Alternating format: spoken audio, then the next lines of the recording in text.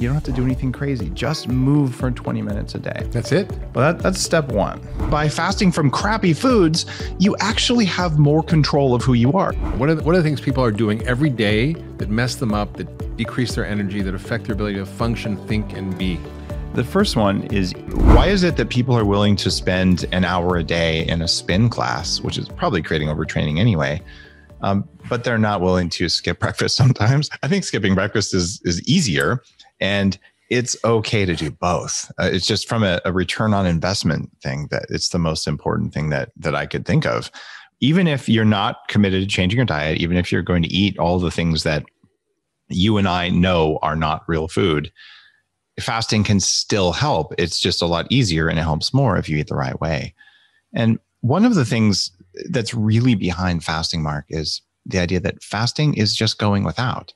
And in the book, I talk about okay, let's think through what happens emotionally when you say you're going to go without something. We have other kinds of fasting that you probably haven't thought of. The keto diet is fasting from carbs. The vegan diet is fasting from animals. I don't know why you'd want to do that if you want to live healthy for a long time, but maybe for a couple weeks to turn on. That's another sort of podcast. exactly. but and hey, go vegan. There you go.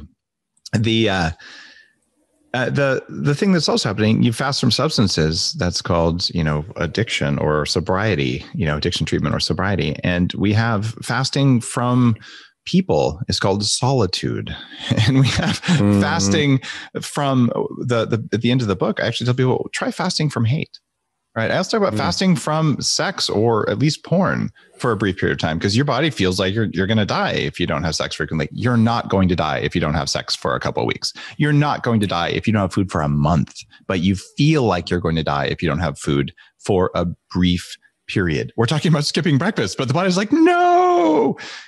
So that's the thing. How do you create a sense of safety when you're going without something that you think you need, that you feel like you need, but you know you don't need? And just by doing that for brief periods of time, it's just like lifting weights. It's just like exercise, but it's exercise for your emotional body. It's exercise for your spiritual body. It's exercise mm. for your physical body, including those subcellular things that you just talked about. And when we change our mindset to fasting as just exercise, we can do exercise right and you might feel like you're going to die on the treadmill but you know you won't and you do it anyway every day so it we're just going to normalize fasting and also acknowledge mark there are it's a lot less eating. painful than my workouts my trainer that's like i don't know that's my like no more reps please yeah he makes me and, do he makes me do push-ups with bands you know you put like a oh that's so cool band. i love bands you know, like i'm like Holy cow. well, I mean, you are looking a little bit bigger in the shoulders there. So all that Tom Brady stuff seems like it's working. Yes, it is. It, there was something else. I know I'm not exactly answering your question, but you mentioned Tom Brady. The other part of his longevity, he figured out, like I did, that nightshades, um, the lectin problem with nightshades, for me, but not for everyone, for about a third of people, man, those things mm-hmm. cause cravings like no one's business. If you give me nightshades mm. like potatoes or uh, uh, bell plant, bell plants, bell peppers or eggplants, man, I want to eat sugar like no one's business. Right. So you got to find the foods that don't trigger How can things. you give up tomatoes? I, I just can't give up tomatoes. It's yeah. Like, I'll still eat some fresh tomatoes. I just take out the seeds oh, and you oh. peel them. And, oh, and this is, oh. it, was a core a part of tomato off the vine yeah. in the garden in a hot August summer day well, you like have a garden, Mark. Life experience. I live in an organic farm, and, and that that's something that that I also would encourage people to fast from junk food and industrial meat and things like that. Mm. Um, now, there's I'm a fast I can get behind. Fast yeah. from industrial it, food. I love that. It, it's a real type of fast. You say, look, I'm going to go without because there are people, in fact, a great many people listening right now, they're going, you mean I, I can't have Skittles? I can't have Reese's peanut butter cups? I can't have Cheetos or whatever the thing is. Well, you can have them. I'm telling you that fast from them because your body feels like you're going to die if you don't have those. And the side effect of a fast like that, Mark, is as you all know, it builds soil. And we have uh, pigs, sheep, turkeys, chickens, and a great number of vegetables growing on my organic farm. I feed my local community and I'm building soil like no one's business. We recovered a five acre gravel pit using animal manure and turned it back into fertile soil. And we're restoring the forest on a part of the property. Wow. When you choose to do that kind of a fast, you can still eat, but you're giving back to the planet. And the, the work you've been doing lately on food policy and all that stuff, that is also a part of the fasting world. You are choosing to go without the things that make you weak even though there's a part of your body that wants you to eat those.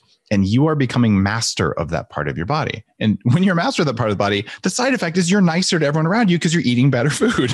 like everybody mm. wins when you do this. It's so oh, important. Wait, wait, wait, wait. I don't want to just pass by that. You just said something that's highly profound because in the middle of this incredibly divisive world, I mean, I was born 60 years ago, and yeah, there were Democrats and Republicans, and there were certainly divisions in society and there was segregationists and there was hate and but the level of divisiveness the level of reactivity the, the, level of hatred. I mean i post a picture of me with uh, now president-elect biden talking about how we can start to build bridges and have conversations and we don't have to agree. We can you know have deep conversations even if we don't have the same worldview without hating each other and I mean, and there was just the most incredible blowback that I just could not believe, and all this projection of hatred on me, and saying I was for vaccine mandates and mask. I mean, mask mandates stuff I never even. I was just talking about love and let's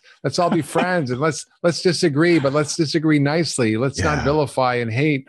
And I was like, whoa. And and and what really is clear and, David Perlmutter's work and his son Austin, and in, in, their latest book, Brainwash, really talked about this yeah. that our diet, our modern industrial diet, has literally hijacked our brain and activated the amygdala, which is the fight or flight, attack, defend, victim part of our brain.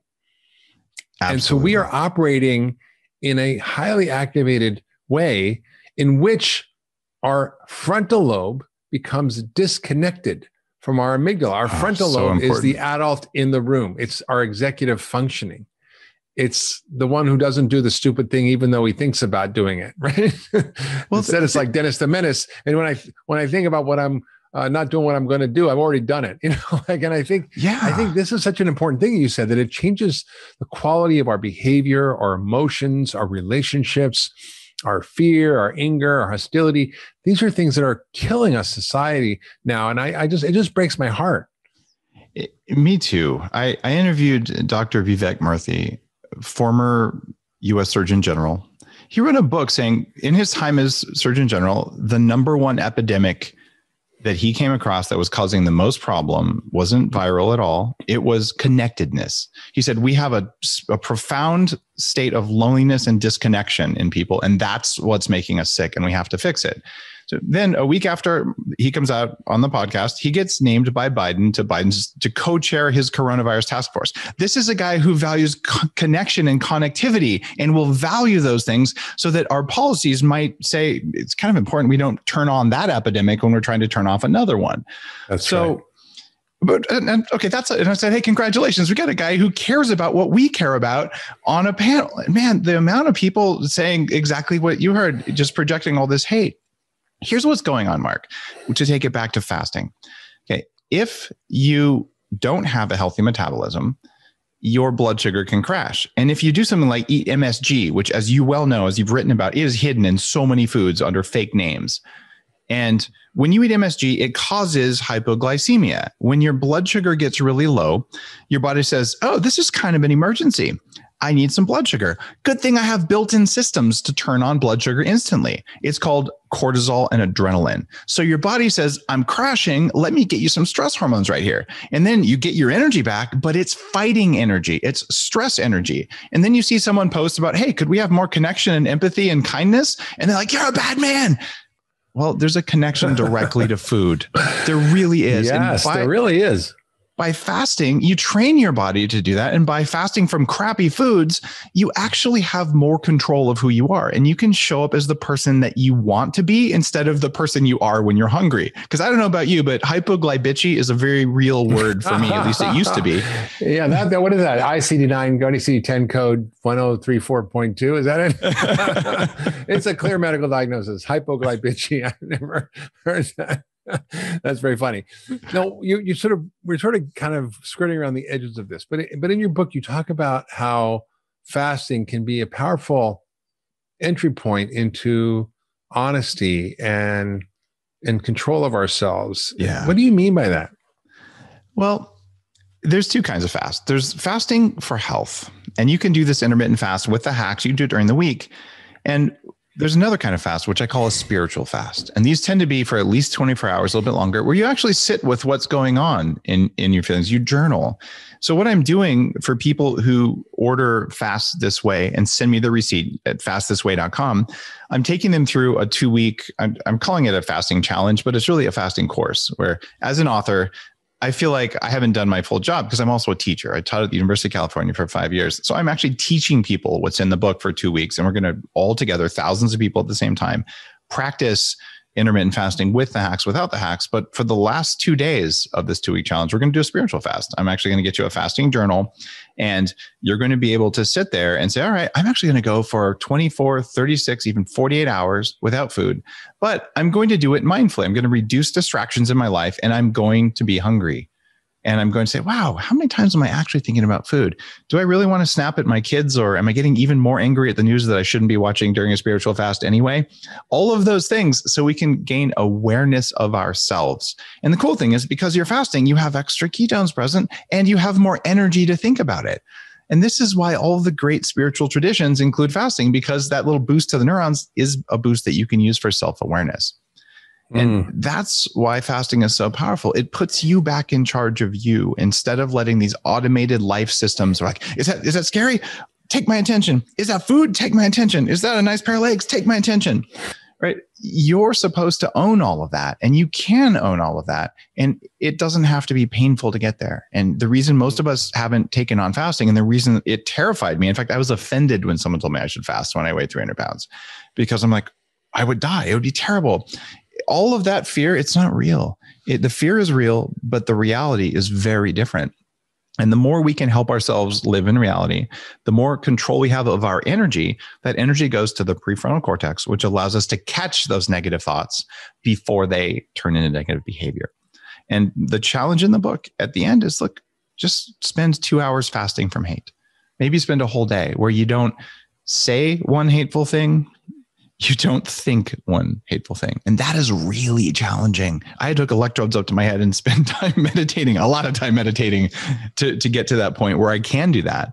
And even then, you'll see these things sneak in. But just a regular short practice of that allows you to remember the kind of person that you're capable of being mm-hmm. instead of the kind of person you are when you're constantly triggered by industrial foods, by industrial news sources, and basically by a world that really isn't set up to let you be who you're supposed to be this last book, Headstrong, was about the mitochondria, which seems like an esoteric thing. It seems like a complicated word, but you sort of explain that there are these little bacteria-like organelles inside our cells, and there's hundreds to thousands and tens of thousands in some cells. And they basically take food that you eat and they take oxygen that you breathe and they turn it into energy that runs every system in your body. And there's byproducts. There's water and that you pee out and carbon dioxide that you breathe out. And then there's waste products that your body has to deal with. And that whole process is at the center of everything that matters in terms of cancer, heart disease, diabetes, dementia, Alzheimer's, yeah. Uh, yeah, all these things are, are related, even autism yes. Uh, are related to mitochondrial dysfunction. And there's a woman, Suzanne Goh, who's an extraordinary scientist from Harvard, Oxford pediatric neurologist who's discovered on the autistic brains that the mitochondria aren't working well. There's no energy in these kids' brains. And yep. so they gave them mitochondrial stuff, support, and these kids get better. You, you may not know this, but uh, I met the clinical definition of Asperger's syndrome until my early 20s. Mm-hmm. Um, yeah, it's brain mitochondria. You don't make enough energy, you don't have enough energy to filter out all the noise from the world around you. And of course, you're not going to make social skills. That's less important than just being able to know what's going on. And what I'm finding in the research in Headstrong shows 48% of people under age 40 have early onset mitochondrial dysfunction. It means you take a unit of food and a unit of air and you get less than a unit of energy. Mm-hmm. And everyone over age 40 has mitochondrial dysfunction. They call it aging. I think it's still early onset. Our mitochondria don't have to decline with time, and it comes from poor management. And if you think about it, if they really are ancient bacteria, which we're, we're sure they are, then what you have is you have a gut biome, all these bacteria in your gut, and you have another network of bacteria that's trying to run your system, that's an integral part of your system. And if you treat that as carefully as you treat the gut and your bacteria, or frankly, you treat your compost pile so that it makes good soil. It's all the same activity. Mm-hmm. And bacteria actually do think. They have not real brains, but they have a process. They have an algorithm for staying alive. If you make them happy and you tell them only the strong survive, and you do the things that you would do to maintain any biome like that, you can actually have way more energy than really Mother Nature intended. I, I think we can do that. And that's that's what I want to dig in. And I just just want to sort of share this story that I heard the other day about the role of mitochondrial therapy in treating ALS. Now you might yes. not have heard this study, but the mitochondria require certain nutrients and certain factors. Uh, one of them is called NAD, uh, and we're going to talk about that. And this is taken as a supplement. It also has some resveratrol, which is from red wine, also is a mitochondrial regulator and it controls these master genes that affect inflammation, that affect oxidative stress, that help produce more energy. And there was a preliminary study done. Now, there's been many, many drugs studied for ALS. None of them work. Yep. Even the best, best, best one that got approved reduces the decline by about 15%, but you still decline. They did an interventional trial using NAD and resveratrol which actually stopped and actually improved patients with ALS. And they regained function, which yeah. is something that's completely out of the medical paradigm. That just doesn't happen. And, and, it's one of 10 different mitochondrial stimulation strategies, all of which will help ALS. Right. So, what are the things that like nuke your mitochondria? What are, the, what are the things people are doing every day that mess them up, that decrease their energy, that affect their ability to function, think, and be? The first one is eating damaged fats or bad fats. And we hear about this thing called a cellular membrane, but it's not really a membrane. It's a, a, collection of tiny droplets of fat, and your mitochondria have their own little bag of fat that they're held in. It's and, like a baggie that holds all yeah. the contents in your cell. It's made up of fat. Correct. And then there's another one that holds the cell itself. So if you eat the wrong fats, particularly fried foods, even if you fry them in you know, coconut oil or butter, it's still not good to fry because the heat damages oils. Then your body gets these oils and it goes, "What do I do with these? I'm going to try and build mitochondria that are supposed to take energy and or take food and air and make energy, but they can't do it because their membrane isn't flexible enough. It gets damaged. So I call them FLFs. Funny looking fats. There you go. and just don't eat that stuff. You don't need the fried calamari. Like it's just not good. Eat the guacamole. I like instead. it. uh, so that's one thing. Another thing is there are toxins, a variety of toxins that some of which come from Mother Nature and some which come from from man. And if you eat these, even in relatively low amounts, they will affect your mitochondrial function. And the most confusing part that's made this hard for medicine and particularly nutrition is that different DNA, different uh, backgrounds can affect which toxins really mess with you.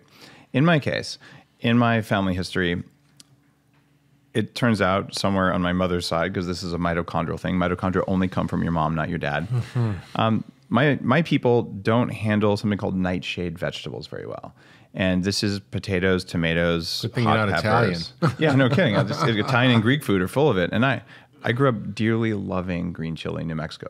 And if I eat even one bite of foods from that family, this is the deadly nightshade family, but some people metabolize it. For me, I get joint pain, brain fog, muffin top. Like it's just it's bad. And, and what if you take the seeds out and peel it? Does even if help? I even if I do that, it, it, it just doesn't matter. I'm I'm highly sensitized to it, and my daughter's not that way, mm-hmm. uh, but I am, and it's irritating. But that doesn't mean for someone listening that it's bad for them. So a third of cases of rheumatoid arthritis are caused by this family. Yeah. It's a mitochondrial problem, but it's only a problem for people with that genetic set. Right, right. So what I recommend people do on the bulletproof diet, I, I put a, a, set of suspect foods. These are foods that may cause problems for you, but they may, may, be good not. for you. Right. Right. So it's not that simple to say, oh, here's the standard, you know, MRE, military ready to eat ration that everyone can eat. It's not like that, but you have to know what are your kryptonite foods that lower your mitochondrial function.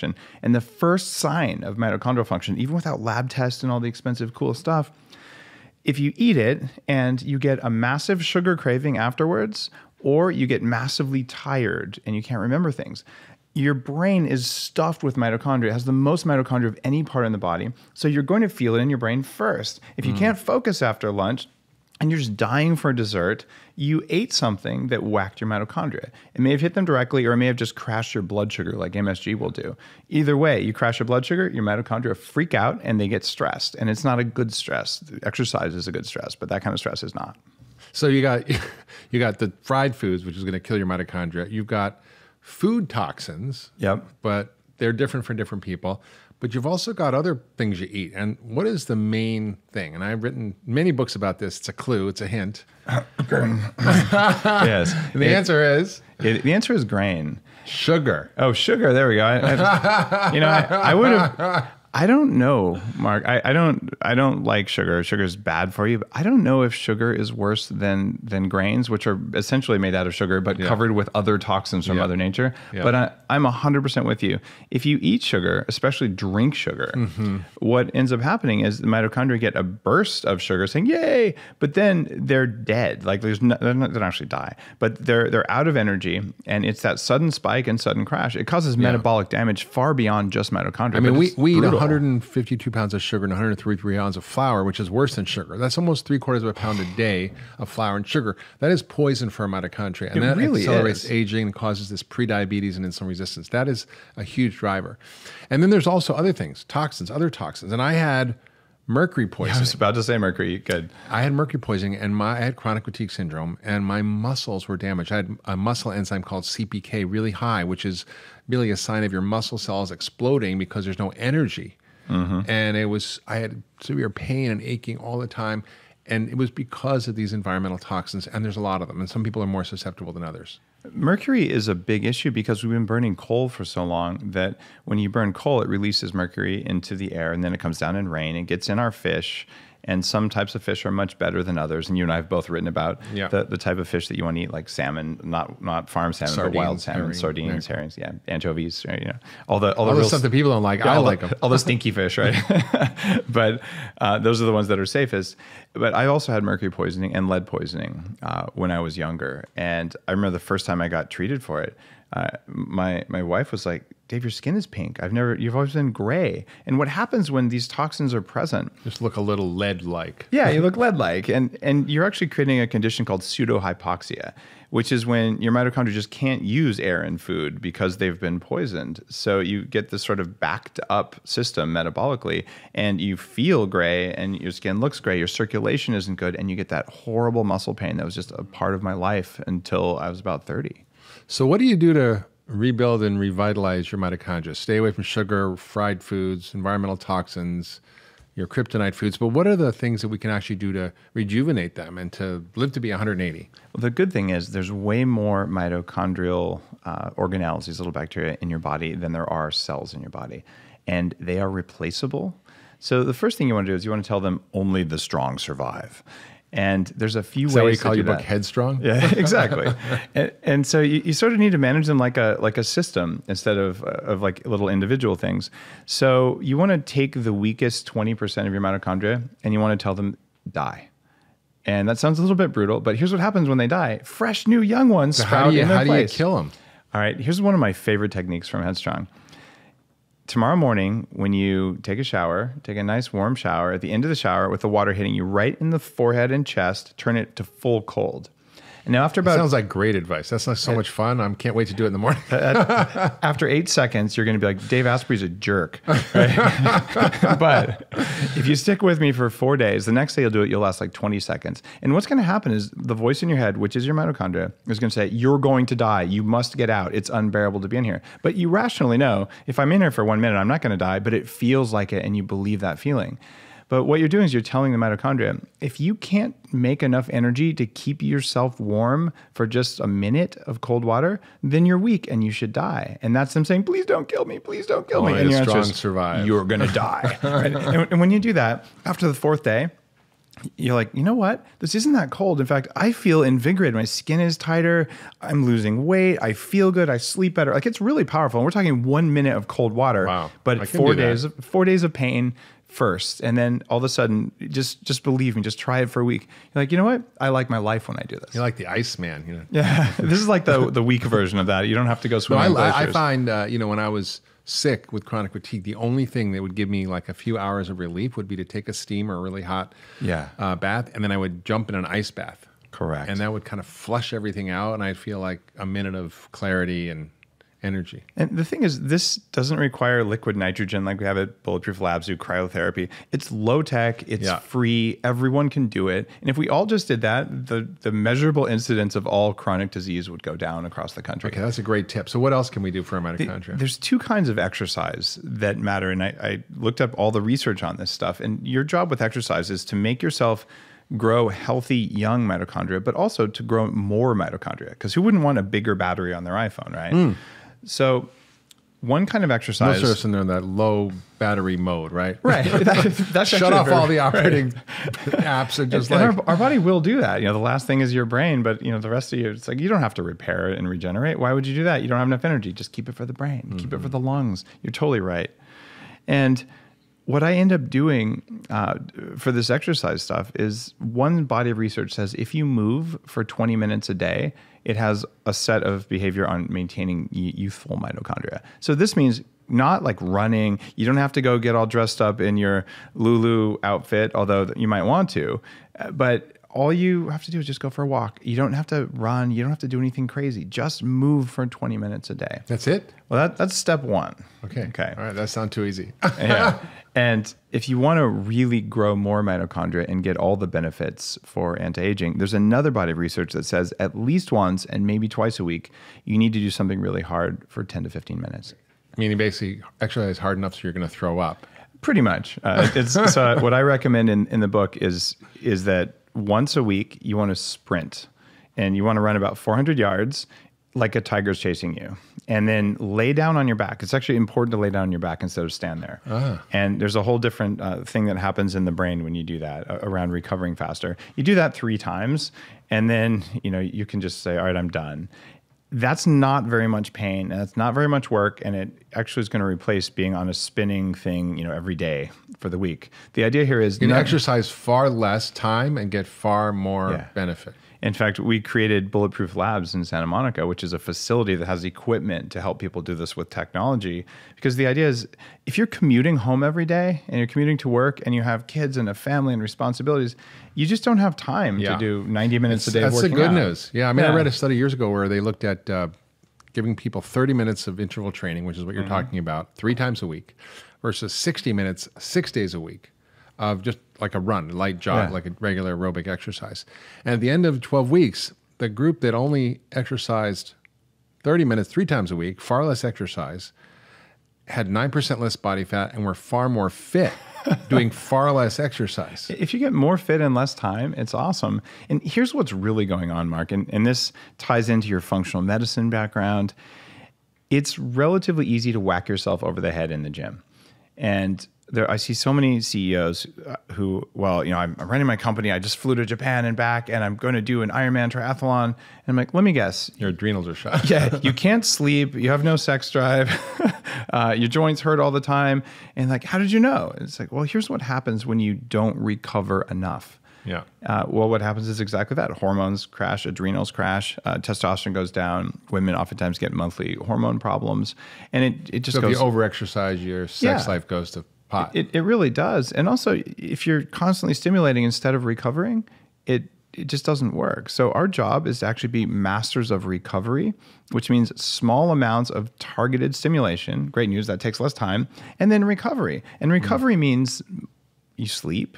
It also means that if you're in a toxic relationship, that you fix it. It means that if you have a lot of emotional stress, um, old trauma, PTSD, uh, substance abuse problems, eating disorders, you deal with that stuff. Because if you have chronic stress from just being unhappy, that's enough stress even without exercise. Yeah. And if you have lots of travel stress, you're jet lagged. Maybe you don't want to hit the the gym really hard. Maybe you just want to take it easy and get some extra sleep and get a massage and to recognize that the massage makes you just as good of a person as going to the gym and lifting heavy things. It's recovery That's that good. matters. That's good to know. I'm, I'm going to write that. down. Tell my wife. Yeah, you know, you you um, you said something there very you know hopeful. Is we can actually change our mitochondria by changing our thoughts. That our thoughts actually are being eavesdropped on by our mitochondria, and that if you have a set of beliefs or attitudes that are keeping you stressed because you know you and I live very crazy lives, but Oh, yeah. both of us aren't really stressed. We just seem to kind of go through every day and have a good time and You enjoy can- life, right? You can do big things and still be happy. In fact,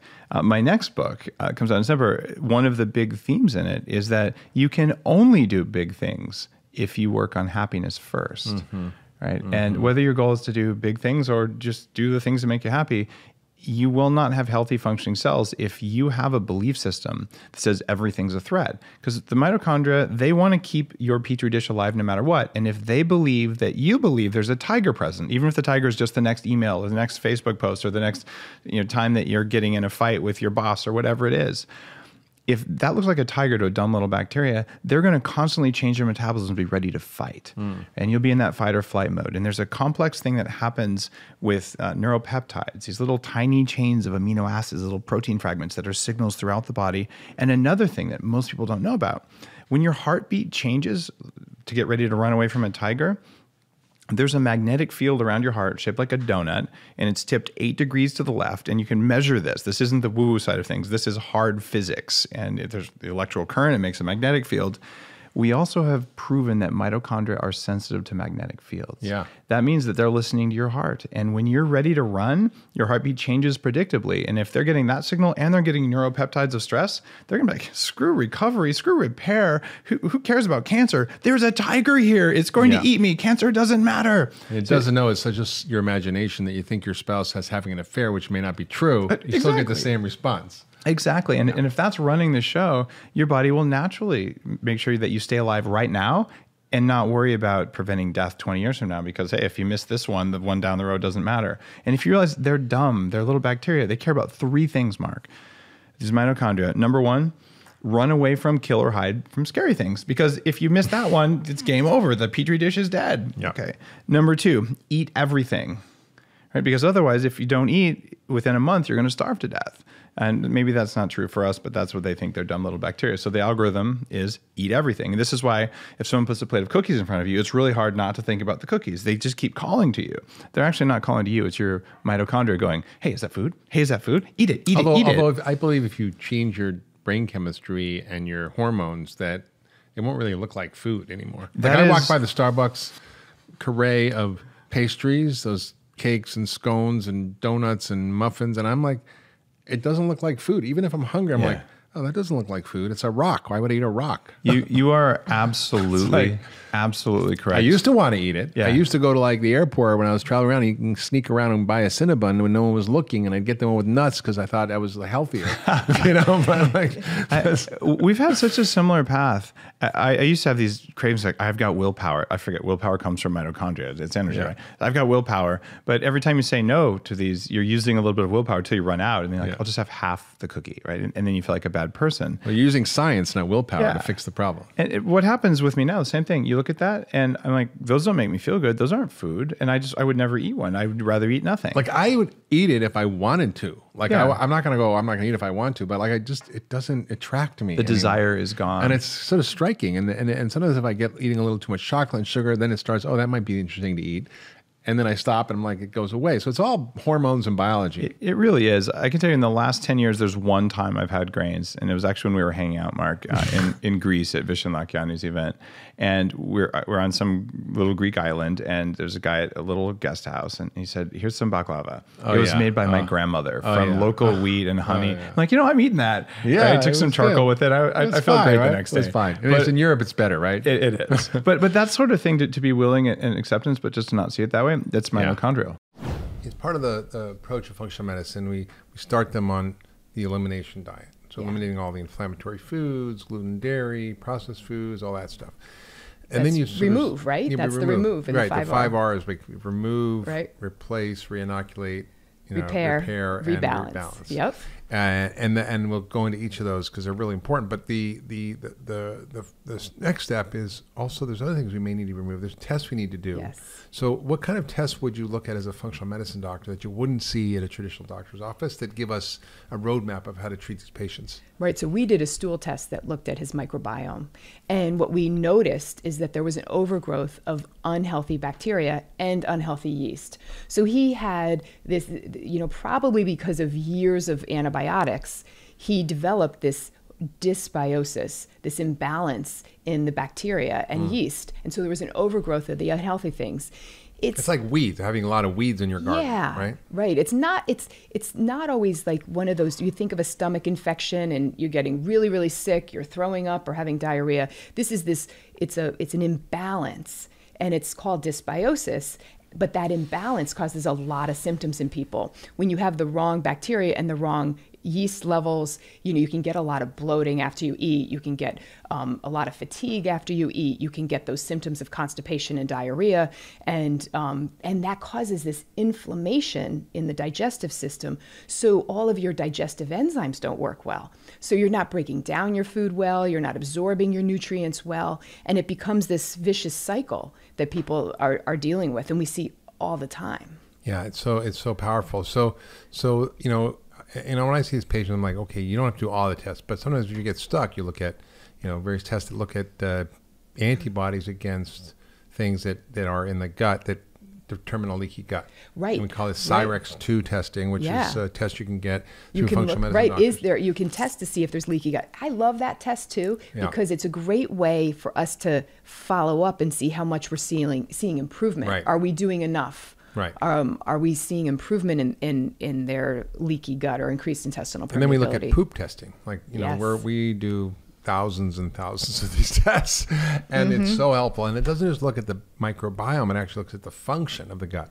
Yes. like uh, whether there's malabsorption, Yep. whether you have no digestive enzymes, whether there's inflammation, whether Yep. there's overactive antibodies in there, whether you have uh, imbalances in what we call the short chain fats, which are the, the, the food for the colon that are produced by bacteria eating the right kinds of fiber. And if they're low, it means there's an imbalance. Then we look at the microbiome, and we look at what grows, we look at parasites, and then we, we target and micro target the things that are out of balance for that person, and it's different for everybody. And we might look at food sensitivity testing. We might look at at um, and even things like heavy metals or other Yep. things which can also cause it. I had a patient with ulcerative colitis once, and I did everything right. I did the whole five R. It wasn't working, but I forgot the first part of the R, which is remove. And I, I thought, well, maybe you know heavy metals can cause autoimmunity. Maybe it's a problem. And so I tested him, and he was like wasted away, and he was like it was terrible.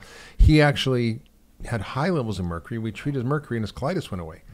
So Which I- is phenomenal. Yeah. Yeah. So I think it's it's so powerful. And this case is so important because it really describes how a patient, you know, goes to a traditional doctor, is diagnosed with a disease, irritable bowel syndrome. By the way, anytime you hear syndrome, it means doctors know what the heck's going on. It's just a collection of symptoms that we agree we're going to put in this bucket, and if you have those symptoms, you have this disease.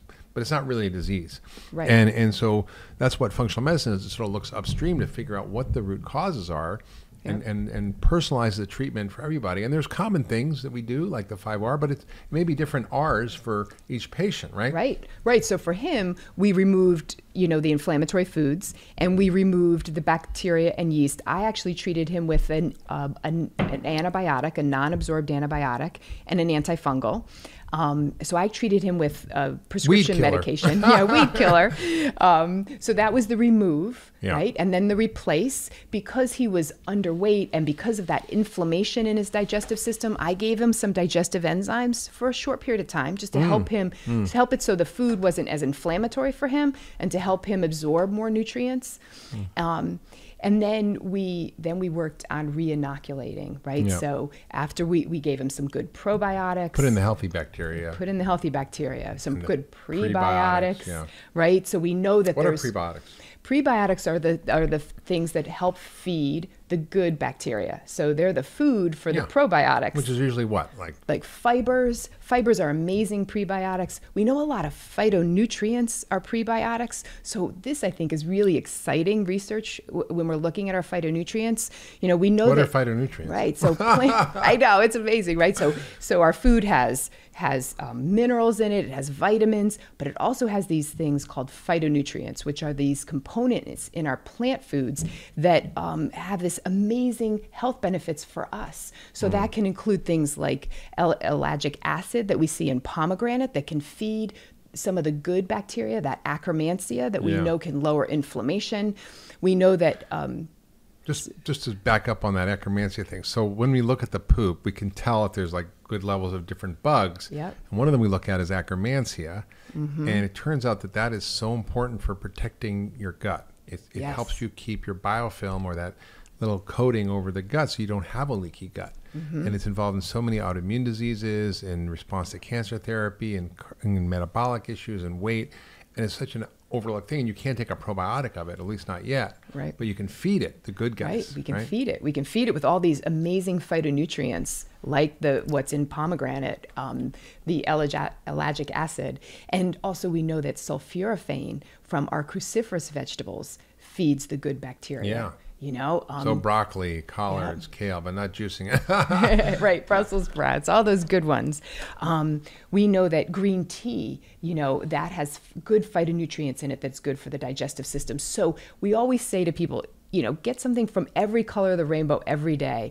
You know, you get some plant foods from every color of the rainbow every day. Get some good red foods like the pomegranate or cranberry. Yeah. Um, get something orange and yellow and green, blue, purple, white, tan. You know, those all those good healthy plant foods um, that we, you know, like our vegetables, our fruits, our spices, our teas, our coffees, really actually are impacting our microbiome, Yeah. which is is fascinating. It's so great. And, you know, just a great uh, anecdote from a colleague of mine, Dr. Li, who was on our podcast talking about eat to beat disease. His mother had stage four uterine cancer. And being the smart doc he is, he understood from the research that if you have low akkermansia, patients don't respond to the immunotherapy, what they call the checkpoint inhibitors, which is this Right. new form of cancer therapy that helps activate your immune system. So if your gut isn't healthy, you can't actually get the cancer cells to die with the immunotherapy. right. So basically you die unless you have good bacteria in your gut. And so his mother was had stage four uterine cancer and was going to die, Yeah. and wasn't responding. And he gave her pomegranate, cranberry, green tea, all these phytochemicals, got her. Yes. akkermansia levels up, and she was cured of her stage four cancer within a month. That's a phenomenal story. Yeah. story It's an incredible story, and I think Wow. that just shows the power of these plant of, foods. of the right? plant foods and of getting focused on the gut.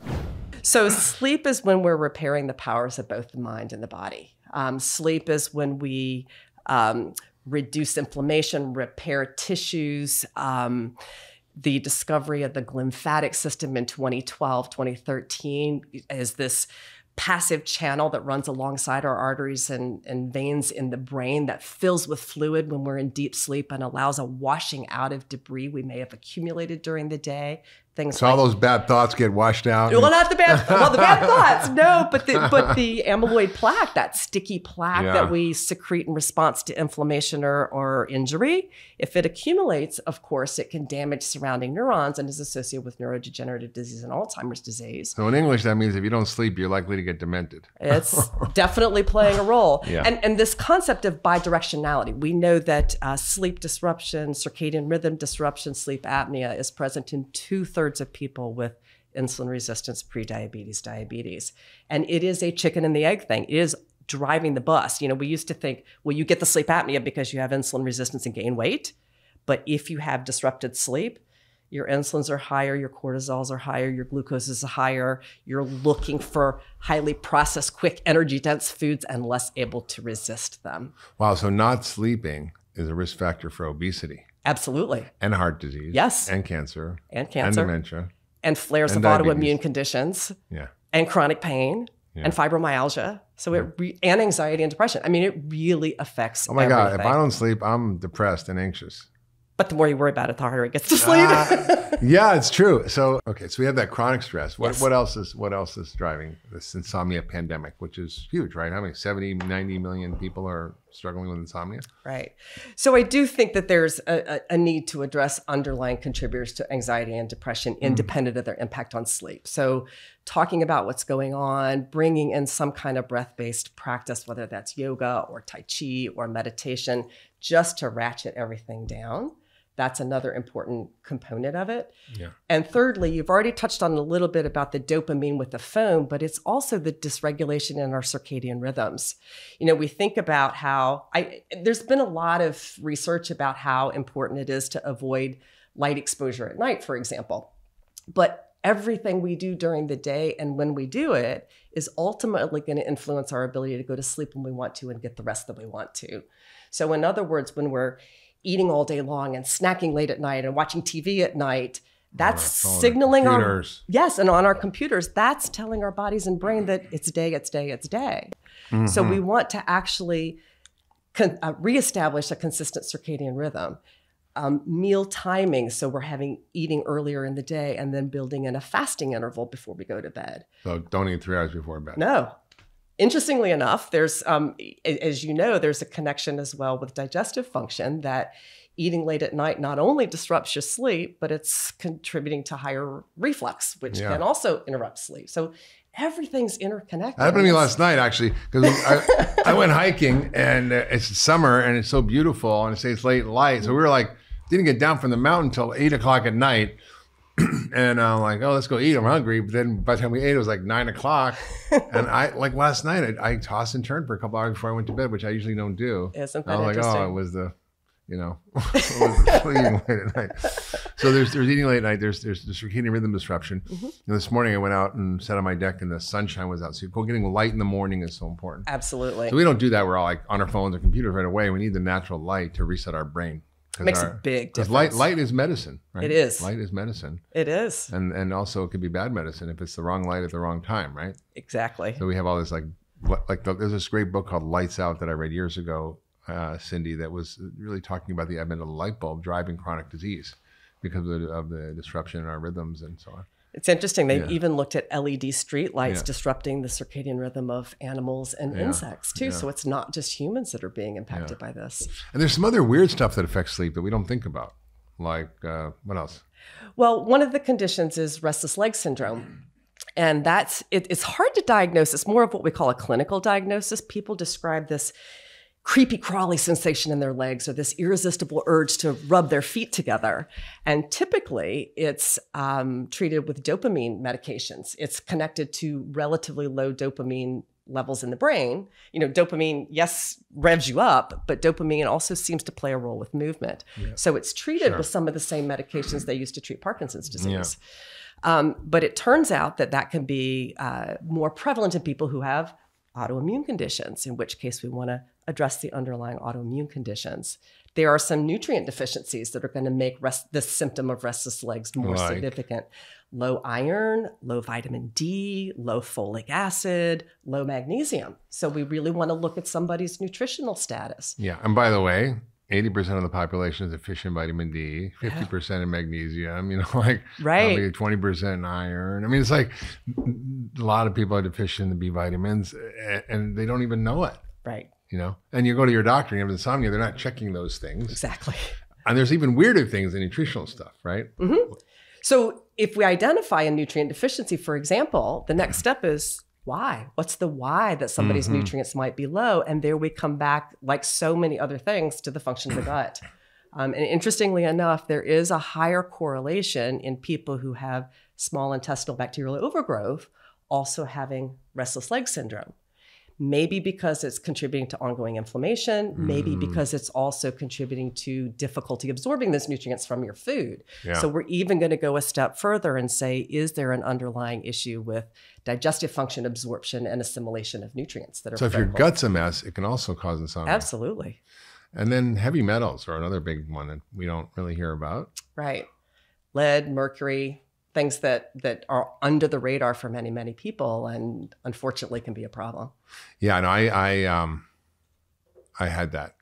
and we talked about it on the show, but I, I've had mercury poisoning, you know, 30 years ago almost. And it really totally screwed up my sleep. And what was- happened with your sleep?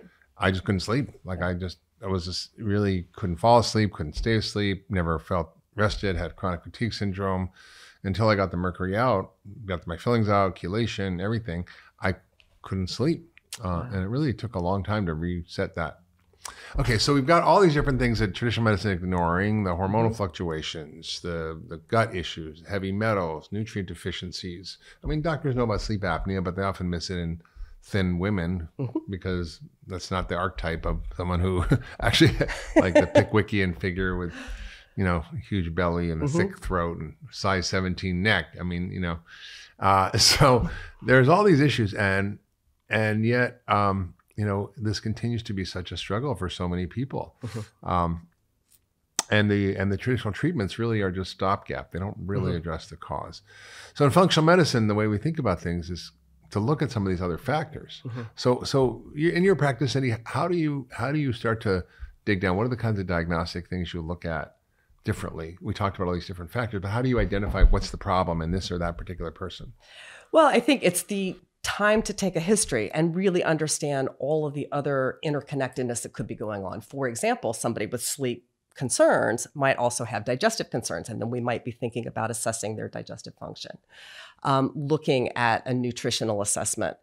But I think there's a time and a place, and there's tremendous value in screening somebody with a, a, portable sleep study because that gives you a tremendous amount of information. And we're using it, yes, to diagnose sleep apnea, but also to say, how often do you wake up during the night? Um, how much percentage of time are you spending in REM sleep and deep sleep? Are you tossing and turning all night long? So it can give us a tremendous overview in terms of somebody's sleep throughout the night. And from that, we can also decide, okay, what else do we need to explore? Mm. And and then we do some testing, right? You can mm-hmm. look at you can look at nutritional levels. You can look at these vitamin D and mm-hmm. magnesium mm-hmm. and folate and and iron studies. Mm-hmm. Uh, you can look at this, obviously the sleep apnea test, and there's home tests now you can do that are mm-hmm. really great. Um, we look at heavy metals, right? Mm-hmm. And the hormones, you can really get a sense of what's right. going on with hormones for people. If their estrogen and progesterone's all out of balance, it just happens in menopause. You see a lot of sleep issues. um, heavy metals, like I said, we can test. So th- there's there's a lot of ways we can diagnose using functional medicine mm-hmm. testing that you don't really get with traditional doctors that can help get underneath things. Um, so Tell me about this this patient you had because you know it sort of speaks to a lot of the issues that we're talking about, and it gives you a little unusual approach to insomnia, something you wouldn't really get from a traditional doctor. Right. So this is somebody that and, and and one of the things I want to plant the seed for is sometimes we start with what we think is the most likely issue and we gradually uncover more potential contributing issues and peel the layers of the onion. And this was a woman that I had known for years. She was pretty healthy in terms of her lifestyle. She exercised, she wasn't overweight, she ate a healthy diet. Um, she didn't drink any alcohol. She was treated with antidepressants. She was on a serotonin reuptake inhibitor and Wellbutrin for her depression. Um, and she started, she was also on hormone replacement therapy. She was postmenopausal in her 60s. And she started complaining of fatigue and difficulty concentrating and just felt scattered. And by Sundays, she would had the need to take a three hour nap. So, well, that's unusual. So, we did some of the usual testing for causes of fatigue. We tested her thyroid, it was okay. We looked at her iron levels or sugar levels, they were okay. So, I decided to do screen her with a sleep study. Mm. And it turned out you would not have looked at her and said, oh, yes, she is the poster child for sleep apnea. Um, she turned out to have one of the most striking positional components to sleep apnea I've ever seen. When she was on her side, her sleep was normal, but when she was on her back, she had respiratory events that count as either a slowing of airflow or a stopping of airflow more than 60 times an hour. Wow. More well, she than stopped breathing 60 times an yes. hour. Yes. Yes. Like once a minute. That's a lot. No yeah. wonder she was exhausted, right? Um, so in when you see a positional component like that, you know, I have people who don't want to do a sleep study because they don't want to. I don't. I'm. Dead, I'd never wear that stupid mask. But for her, we said, okay, well, let's start with retraining you to learn to sleep on your side. And she tried that. There's some commercially available positional devices. There are all kinds of strategies you There's can do. There's a very, very sophisticated technology it's called the tennis ball yes. strategy, where you sew a tennis ball into a t-shirt on the back so if you roll over on your back, it makes you flip over to your side. Or the fanny pack with the pillow stuffed in it. Yes, yeah. there's all kinds of strategies you can do, and of course, it's it's big business, right? You can buy a slumber bump or a bumper belt. Oh, I didn't know they had those. This guy, I was on the tennis ball track. uh, even more sophisticated, there's now a biofeedback device that's a strap around that vibrates when you roll on your back. So it's sort of oh. autogenic nighttime training to wow. get you. So that's what she used, interestingly enough. Mm. And it helped a little, but she was still tired. So, as we're peeling the layers of the onion, she had some digestive symptoms, a lot of bloating, a lot of discomfort. Um, and she had, we had done a full sleep study. She had restless legs and periodic limb movements. Mm-hmm. She turned out to have a very abnormal breath test. Uh, for small intestinal bacterial overgrowth. That means bugs growing in your small intestine where they really where they don't grow. belong. Right. right. Right. Which can cause inflammation. Absolutely. And low iron. Her iron wasn't terribly low, but um, one of the sidebars here, I think the other thing we do in functional and integrative medicine is understand the difference between a normal blood test. I should put quote normal blood test and an optimal blood test. Yeah. Ferritin's a classic example of that. Ferritin looks at your total tissue iron. And I think How much that iron is in your, in your iron bank in your body? in your iron bank, your iron stores, right? And normal can be anywhere from 15 to 250. yeah. So It's a big range. it's a big range. And what we know the threshold is for somebody who's got restless leg symptoms is you actually don't want to be normal. You want to be over a 100 Mm-hmm. because there's some evidence, even comparing it head to head with those dopamine drugs we mentioned earlier, getting somebody's ferritin over 100 was as effective as the dopamine medications. That's amazing. That's amazing, right? Yeah. As simple as correcting a nutrient deficiency, not to the normal range, but the optimal range for that condition. Yeah, what's interesting is you know if if you know heme iron is the right the best absorbed kind of iron, but that usually comes from meat. Right. And people are vegan, the, the plant forms of iron aren't as well absorbed. Right. And you often see very significant iron deficiency in these patients, especially women who are menstruating. And I think that, um, you know, uh, I learned actually in traditional medicine that ferritin was connected to sleep. Actually, Interesting. yeah, I learned that uh, at a lecture on insomnia that I went to by some drug company. Well, that's great. I was like, "Wow, that's interesting." Uh, but but uh, yeah, I think it's it's a, something that's often overlooked, and it's an easy blood test to check your ferritin, which which most doctors won't look at. Um, and, and Mark, I think from the internal medicine standpoint too, it's equally important to say don't just correct the iron, figure out the why. Right? you don't she- want to miss Yeah, she got blood colon cancer. somewhere. got a- Absolutely. a, stomach ulcer. Is she just menstruating heavily? Does she have a Right. bladder cancer? Or does, like something, right. Right. So I think that's really important. You're right. Just don't look at the symptom. Look at the cause. Right. Because low iron is a symptom. Right. It's not a cause, right? It ca- may, low iron may cause insomnia, but what causes low iron? So that's what functional medicine does. It keeps going upstream. And you, you, you said something a couple of times that I just want to come back to, which is peeling the onion.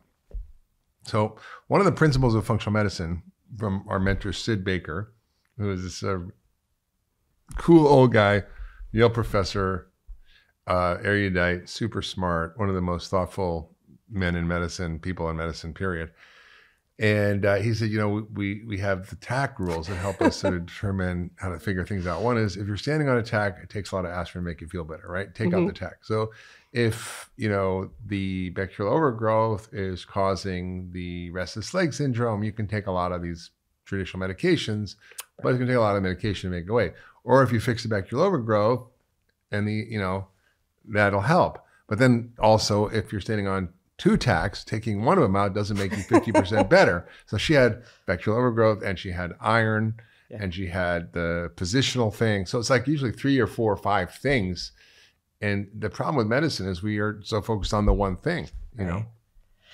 You know, there was one other piece related to her story that I think is also important to call out. Addressing all of those things, her sleep quality was still not what she wanted to be. So we had a conversation, and she relayed the fact that when she was growing up, things were pretty unsettled in her home of origin. There were a lot of late night parties, a lot of noise, and bedtime became a time where she didn't really feel safe and quiet and comfortable. So we also talked about referring her to a life management behavioral therapist to really talk about what it meant to be safe and regaining that sense of being okay being in bed. And I think that's that goes hidden as well that a previous um, history of trauma or not feeling safe can also show up with insomnia and difficulty sleeping. Yeah, and I think that's a big thing for a lot of people. Um, you know, there's a questionnaire you can do online called the ACE questionnaire. It's Adverse Childhood Events, and you get a score.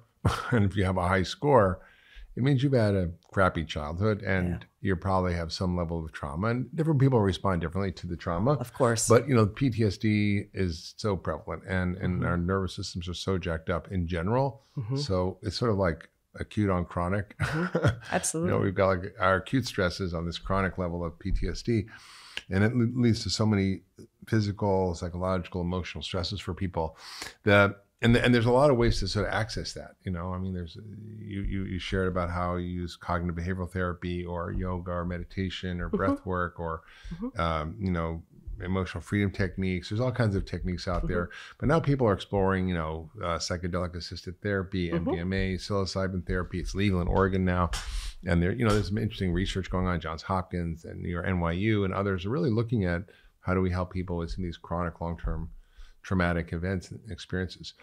Uh, and and I think you know, sort of listening to it's just so interesting to hear that, that you're dealing with you know something as simple as insomnia can be quite complicated. You have to look at inflammation in the body. You have to look where's it coming from? Is it the gut? Is it heavy metals? Is it hormonal changes? Is it nutrient deficiencies? Is it maybe it's food sensitivities or allergies? Maybe it's low thyroid. Uh, there's things that we you know we just don't often think about. And so what's so satisfying with functional medicine is we're able to actually dig into these things and look and see the why. You know, we say functional medicine is the medicine of why, not what, not what disease you have, which is helpful, but it's not the end of the story. We go, well, why do you have that disease? Like, you know, and, and that's the challenge with traditional medicine. It's like you make the diagnosis and you stop thinking. Okay, you've got depression. Here's antidepressant. You've got insomnia, take the sleep pill. Oh, you've got rheumatoid arthritis, take the rheumatoid arthritis pill. Like, not why do you have insomnia or depression or rheumatoid arthritis or migraines, but like why? And and that's what's so powerful. So and then you sort of there's some basic sleep practices that are really good. We've, we've covered some of this, but I think it'd be good to go over it. And I think um, you know, it, it- and I think it's it's important to emphasize that everything matters: sleep, exercise, stress. Mhm. You know, your- obviously uh, your diet plays a huge role, nutrient status, uh, and that's what we do in functional medicine. So we dig down into it. So talk about some of the um, the other factors around sleep hygiene that we sort of haven't touched on uh, in terms of diet and lifestyle and food and exercise. And so- Sure. I think I think first and foremost we have to recognize that sleep, you know, you and I trained in an era where sleep deprivation or how little sleep you could get by on was a badge of honor. Yeah. So we Oh. need to shift that internal dialogue that that we all have that oh, if I'm not if I'm sleeping, I'm wasting my time and I'm not getting my stuff done. So first honor the importance of sleep for your overall health and well-being and even your ability to stick to your intentions around choosing healthy foods and sticking to your exercise plan. Then create a sanctuary that's really conducive for rest and relaxation. Dark, quiet, cool, ideally electronics out of the bedroom uh, or turned off if you can. Um, getting rid of all of the light exposures, even your chargers, you know, that had that yeah, like those like lights, like Oh. red, green lights on different devices. I'm like, that drives me crazy. I used to. I had a patient who told me she traveled around with black electrical tape whenever she That's went to a hotel, and she would put it over all the little light sources a great in the idea. I. I travel with eye shades because Yeah. you never know where you're going to be. Um, so the, those two, quiet, um, calming, and I think this idea that you go, go, go, go, go, go, hop in bed and turn it off like a switch, that doesn't work either. So building in a transition to rest and relaxation. If you can do an hour, that's great. And getting off the devices, not watching TV, maybe reading a book or journaling or doing something, taking a bath, stretching in the tub. I mean, there's all kinds of wonderful ways to ease into to rest and I like the hot Epsom salt bath with lavender drops because the lavender lowers your cortisol, the magnesium relaxes you, and the sulfur and the Epsom salt helps you detox. That's And my favorite as well. And then you go to your cool bedroom and you do your legs up the wall yoga, Yeah. restorative yoga position, and Yeah. bingo, you've got your transition to rest and relaxation. So powerful. And and alcohol obviously is a big Uh, factor for people. Yeah, that's a tough one. That's a tough one. So, so the rough analogy is this: um, for every, it's funny um, when they asked partners of people with insomnia, how many of them were suggesting that they have a drink to go to sleep. It was about a third of them. So people think alcohol is going to help you sleep. And it might make you fall asleep, but then as it Mhm. clears out of your system, there's an arousal. It can exacerbate hypoglycemia. It makes you wake up. It's going to make sleep apnea worse.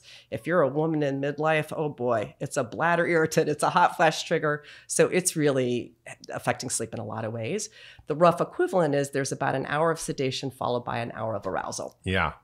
So if you had a glass of wine at six and you go to bed at 10, it's probably not going to impact your sleep as much as if you have two glasses at eight, or like your late dinner last night, if you had a glass or two of wine. I Yeah, had a beer. Yeah. had a beer. it has another impact on your sleep. I just right? noticed it. Actually, I had an, an Oura ring for a while. and Uh-huh. I was tracking my sleep, and I noticed whenever I drank, my sleep's pattern was so disrupted. Yeah. Quality of sleep, the depth of sleep, the amount of REM sleep, deep sleep, uh, snoring, you know, all that. Isn't it's that really interesting? fascinating. And then caffeine also is another big one, right? Yeah, absolutely. And and we're all we're all different in terms of our caffeine metabolism ability. Uh, some people are really fast metabolizers. Me, uh, sorry, fast metabolizers. I happen to be one of those. Um, but if you're a slow metabolizer, half of your cup of coffee from noon could still be in your system at nine o'clock at night. And most of the time, we're not thinking back to that noon Mhm. cup of coffee. Um, with food, it's really about quality, quantity, and timing of food. It's all three. Um, yet another area that's impacted with the health of the gut microbiome is sleep. And data is suggesting that people who eat a, a wide variety of colorful fruits and vegetables tend to have better sleep quality, whereas a highly processed standard American diet is associated with more sleep disruptions and less deep sleep. So, quality matters. We already touched a little bit on the timing of eating. So, eating your calories earlier in the day um, also helps re-regulate those circadian rhythms. So, this the clocks in the brain and the clocks in the body uh, that are ideally going to be working in sync with each other they're influenced by light, by movement, and by food. So when we line all those things up during the day, it's going to help us get the rest that we need at night. So important. This is such good information. Let's talk about what are the challenges uh, that you see in your clinical practice around women and sleep. And, and what are the main reasons that you're finding? And some of them are unexpected. Right. Uh, and then and then let's go into how you know there would be traditionally approached by by conventional medicine, and then we'll dive into functional medicine. Sure. So I think the first thing is that some common sleep conditions like insomnia and restless legs, they disproportionately affect women and they can have a connection to lifestyle. Um, sleep apnea, interestingly enough, gets underdiagnosed for women. Um, and there's a lot of reasons which you can d- dive into it, but some of it has to do with stereotypes on the part of clinicians of thinking about sleep apnea being a man's condition, Some big, especially if they're overweight. Guy, right? Right, especially 30 putting weight on 300 around. pounds, right? Yeah. But lean women can get sleep apnea too, and it may show up very differently. Yeah. Um, there's also the idea that when we look at times of hormonal fluctuation for women, whether that's before their periods or during pregnancy or the postpartum or the menopause transition, that can also cause an uptick in, in disrupted sleep. So hormone balance and regulating hormones can, can play a huge role in improving Yeah. sleep quality. Yeah. Um, and finally, you know, disproportionately in the past, caregiving demands have fallen on the shoulders of women. And I think that really became manifest or evident during the COVID 19 pandemic when you saw a bigger proportion of women than men experiencing an uptick in insomnia, anxiety, and depression. So they're all interconnected. Yeah. So women take on the burden of the families. They, they often, especially during the perimenopausal years, become the sandwich generation between raising their kids and taking care of their elder parents. And you, you're kind of in the middle of that, a Kind of little bit toward the tail end of it, but you kind of went through that, and uh, it puts a lot of stress on women. Also, I think there's some there's some unusual causes of sleep Mm-hmm. that get missed by traditional medicine, uh, and and and and so like if you were a woman and you went to the doctors like I'm having insomnia, what are they going to tell you? They'll probably tell you to take a sleeping pill, a little Ambien, little a Ambien, little yes. Valium, right? And or maybe they'll give you an antidepressant, right? Right, right. And uh, of course, those come with side effects. They're Absolutely. addictive. They impair cognition. They have all kinds of um, long-term effects. I mean, the benzos or things like Valium and lorazepam or Ativan, they they may lead to increased cognitive problems like dementia when you get older. Ambien, you know, we heard all the stories about people wandering around doing stuff they shouldn't do in the middle of the night. And uh, it's it's unfortunate that that uh, there are other things too that traditional medicine misses that affect sleep. Um, you talked about the big ones, which are the stress and the sleep apnea Mm-hmm. and the hormonal issues. But there, there's really more uh, that we know about sleep disruption. And Mm-hmm. Right. the, the difference with functional medicine is that we tend to take a detective approach. We don't just stop at the diagnosis. Insomnia is a symptom; it's not a disease. Right. Right. and so we go, oh, I know it's why you can't sleep. You have insomnia. No, that's just the name of it, silly. That's not the cause. and so we we kind of have a different approach. And there, over the years, you know, there are things we've really uncovered in functional medicine that, that play a role in sleep that are mostly ignored. And so you, you shared a little bit about it earlier when we were chatting. But what what are the kinds of other things that we see underlying the root causes of insomnia? So, if we think about insomnia, about 80% of people who develop chronic insomnia, there's an initial inciting event, but it leads to a, a stressful event, for example, and their Like sleep. a death or divorce. uh, Right. Or a transition with the job. And I think the pandemic has, has contributed to it as well. But then what happens is there's this upregulation of the HPA axis and this chronic What's that? overproduction of cortisol. is hypothalamic pituitary adrenal axis. so it's the brain's command center that tells the body what to do. Absolutely. So it's that connection between what our brain is registering as a threat and how that impacts our need to respond to that threat by pumping out these hormones that then in turn keep us ready to deal with a threat that may not be there anymore. So basically, if you're in fight or flight, your your job isn't to go take a nap. So, It is not. it's to stay on alert right, it's a run. and wait for the next thing that's going right, to threaten right, you. right. Right. Right. So that that activated sympathetic nervous system is huge, uh, and and our culture just does that. That Absolutely. the phone is like a dopamine, uh, you know, uh, it, it pump. it's like a dopamine pump that keeps your blood pressure up. I mean, uh, you know, what when people are dying in the intensive care unit, the drug we give them to keep their heart going is dopamine. right? And that's, That's what a great analogy. you know, and so like it's like at the very end of life, like if you can't, if everything else, epinephrine failed, everything, you give dopamine because it's so powerful at keeping you awake and alive. And so what everything in our life is the sugar, the phones, all the new, like it's just we're constantly in a dopamine barrage. You know, uh. it's funny you said that because I've had people tell me, you know, I wake up at 1.30 every night. I said, well, how do you know it's 1.30? Because I look at my phone and I Right. says 1.30. And that, again, perpetuates the cycle because then you're thinking, oh, it's 1.30. Oh, mm-hmm. crap. I'm awake. I should be asleep. And then it just becomes, Yeah. You know, the best thing I ever did for my sleep issues, because I struggle with them as well, mm-hmm. is um is is putting my phone and my watch off. Like just taking everything out and like not knowing what time it is. and just letting my body do its thing. I think that's brilliant, Mark. when you eat more processed foods, which means simple sugars, trans fats, um, and, and a lot of simple carbs in all those ways that you know it's not just sugar, folks. It's like you know, you know, fructose syrup and what I love corn corn syrup solids. Right. Now they changed the name of high fructose corn Right. syrup. It was like it's like sounds like a corn kind of like corn syrup, Corn's you know, healthy, like, ma- it's a like maple syrup, yeah. And so uh, th- those are you know the things that that certainly we want folks to to avoid. And um, what does the data say? If you eat uh, highly processed foods, you have you know fifty to hundred percent increased risk of clinical depression. Oh.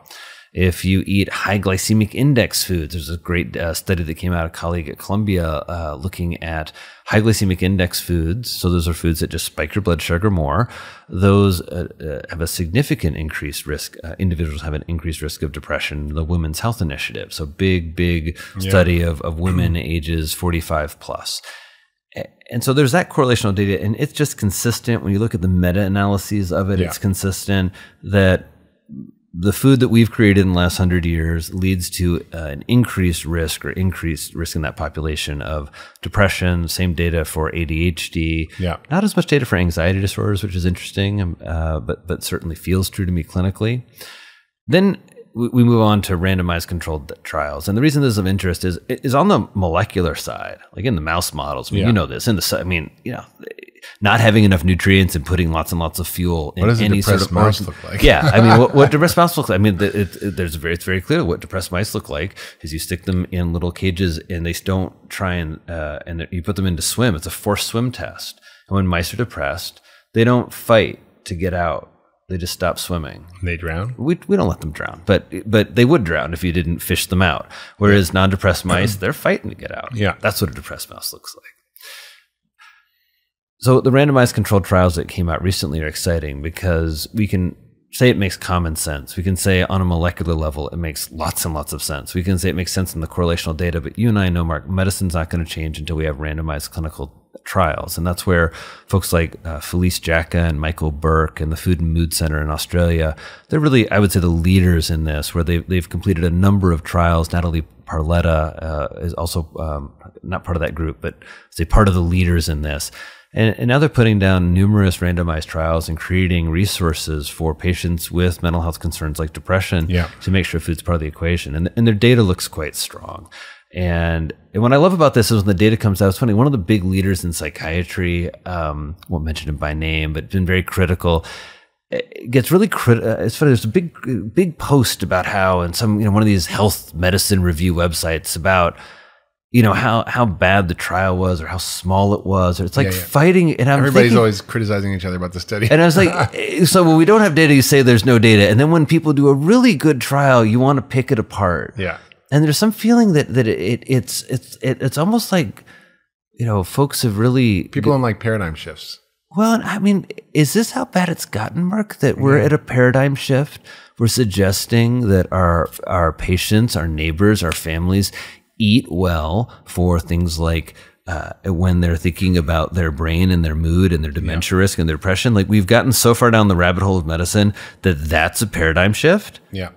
Like that, yeah, that's crazy. it is absolutely And, nuts. and there's so, you're right. There's so much data. Like you know, might be aware of Hibbeln's work, which was from the NIH, Joe, which showed the Captain Joe, Captain Yeah, Joe Joe, is right. like uh, He's a pretty cool guy. He's the uh, he's the leader of the what he, he calls himself the uh, he is the uh, surgeon he's the Surgeon General's he's a soldier in the Surgeon General's army. There you go. And he did these amazing studies looking at the rise of omega three, omega. I mean, the rise of omega six fats, refined oils, and the decrease in omega three fats leading to violence, homicide, suicide, uh, and that changed behavior. And I remember once coming back from, you know, somewhere, and I had a letter on my desk uh, in my office, and it was from a prisoner who wrote me a letter, wrote my, read my book Ultra Metabolism way back when, and said, you know, I was a violent criminal all my life, and I realized, you know, I, I, that when I changed my diet after reading this book in prison, I don't know how he did that, that he realized he was a very different person. And they've done prison studies where they feed, feed prisoners healthy diets and they reduce violent crime by 56%. If you give them a multivitamin, it reduces crime by 80%. Well, you can in just- prisons. Yeah, you can just see that the, the notion that we you know we don't approach that right. What is criminal activity violence? So some of it's stuff we don't understand. Some of it's certainly horrible character pathology, uh, but some of it. When we think that this is a population that, in general, does not have good nourishment, No. in general, um, you know, does not learn a lot of mental health skills, uh, you know, there's there's a way that that some of what's going on there is certainly just a result of a broken system of mental health care, and and I would say a broken system of our culture. I've been really, uh, I've been inspired this month by Benjamin, uh, the Benjamin Rush biography, and the reason is that I didn't know anything about Benjamin Rush, and Benjamin Rush is one of our youngest founding fathers. He is, is I think, the second youngest signer of the Declaration of Independence, and the only I think one I think the only physician signer. Yeah. And he is our original American physician. They called him uh, the American Hippocrates back in the day. And he's also our original psychiatrist.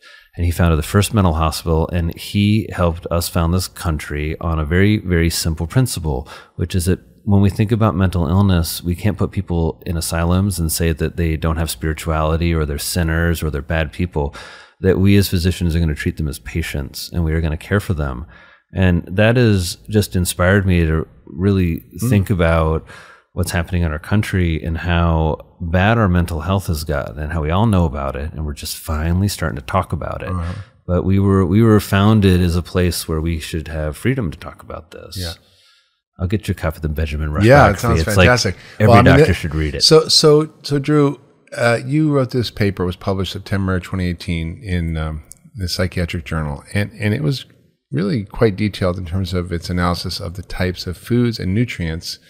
So, help us take this home. What are the things that you learned from there that are the most important nutrients we need, and what are the most important foods to help us get those nutrients, and just in general to help us for sure. mental illness? And so the simple, the, the paper is called Antidepressants Foods, and, and folks can and check it out. And, and it's an open source article.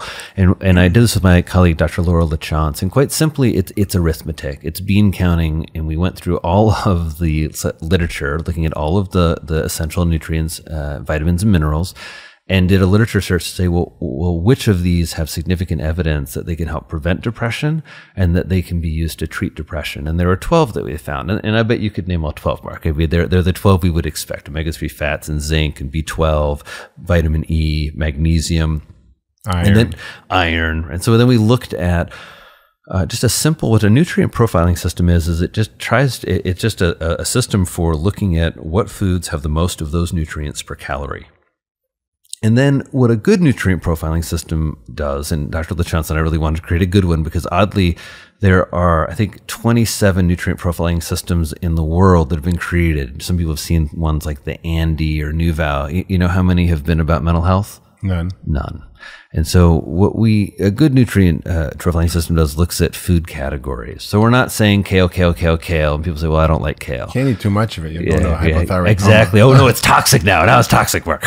Um, but what we say is leafy greens. And so what we did is we scored. Um, uh, we looked at all of the uh, all of the the top foods for these nutrients, scored them, and then created a list of the top plant and animal foods. And so they're they're you know first of all they're the foods that top the list, which I just think are are interesting. Like oysters, clams, and mussels are in the top five on the animal side. And the reason we did animal foods is that no nutrient profiling system usually has any meat or any animals in it because it's all based on calories usually, and plants always have fewer calories. But most people eat meat or seafood, so we wanted to give folks a list of Yeah. which which had the most nutrients And why why were this shellfish the top ones? Top ones because think about uh, oysters why do they top the list you got 10 to 15 calories per oyster so let's just say you know six oysters 60 calories and for those 60 calories you're getting 768 milligrams of long chain omega-3 fats you're getting 340% of your vitamin b12 you're getting uh, gosh at least a third of your iron you're getting 500% of your daily need of zinc you're i mean and on and on and on you're getting even some vitamin c in oysters Okay, let's go get some oysters. yeah, yeah, exactly. All that for 60 calories. And that's just,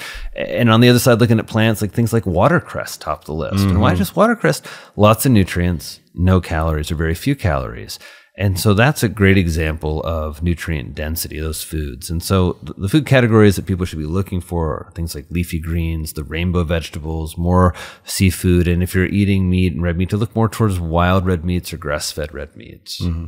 So this is fascinating. So the diet that prevents cancer, heart disease, dementia, depression, and fixes most chronic illness is the same diet. it's it's it's really it's well it's where we got off in medicine we kind of separated out mental health and brain health from the rest like like you're saying kind of like somehow the blood brain brain barrier was like thou shalt not pass like we we didn't think that sure those same all those same activities that we, we we think about in terms of our general health and the foods we want people to eat and the things we want people to do move their bodies uh, connect be part of their community. Yeah that that's key to your brain health and your mental health. Yeah, and it, and the trouble with you know our food supply is that it's often depleted. Even if you're eating the best foods, you know you have an organic farm. The soil matters in terms really- of what's in the food. Yeah. and if you're growing on depleted soils, um, which most of our soils are, more like dust and dirt. Well, they're just like And- chemicals in, chemicals out. I mean, it, it's really,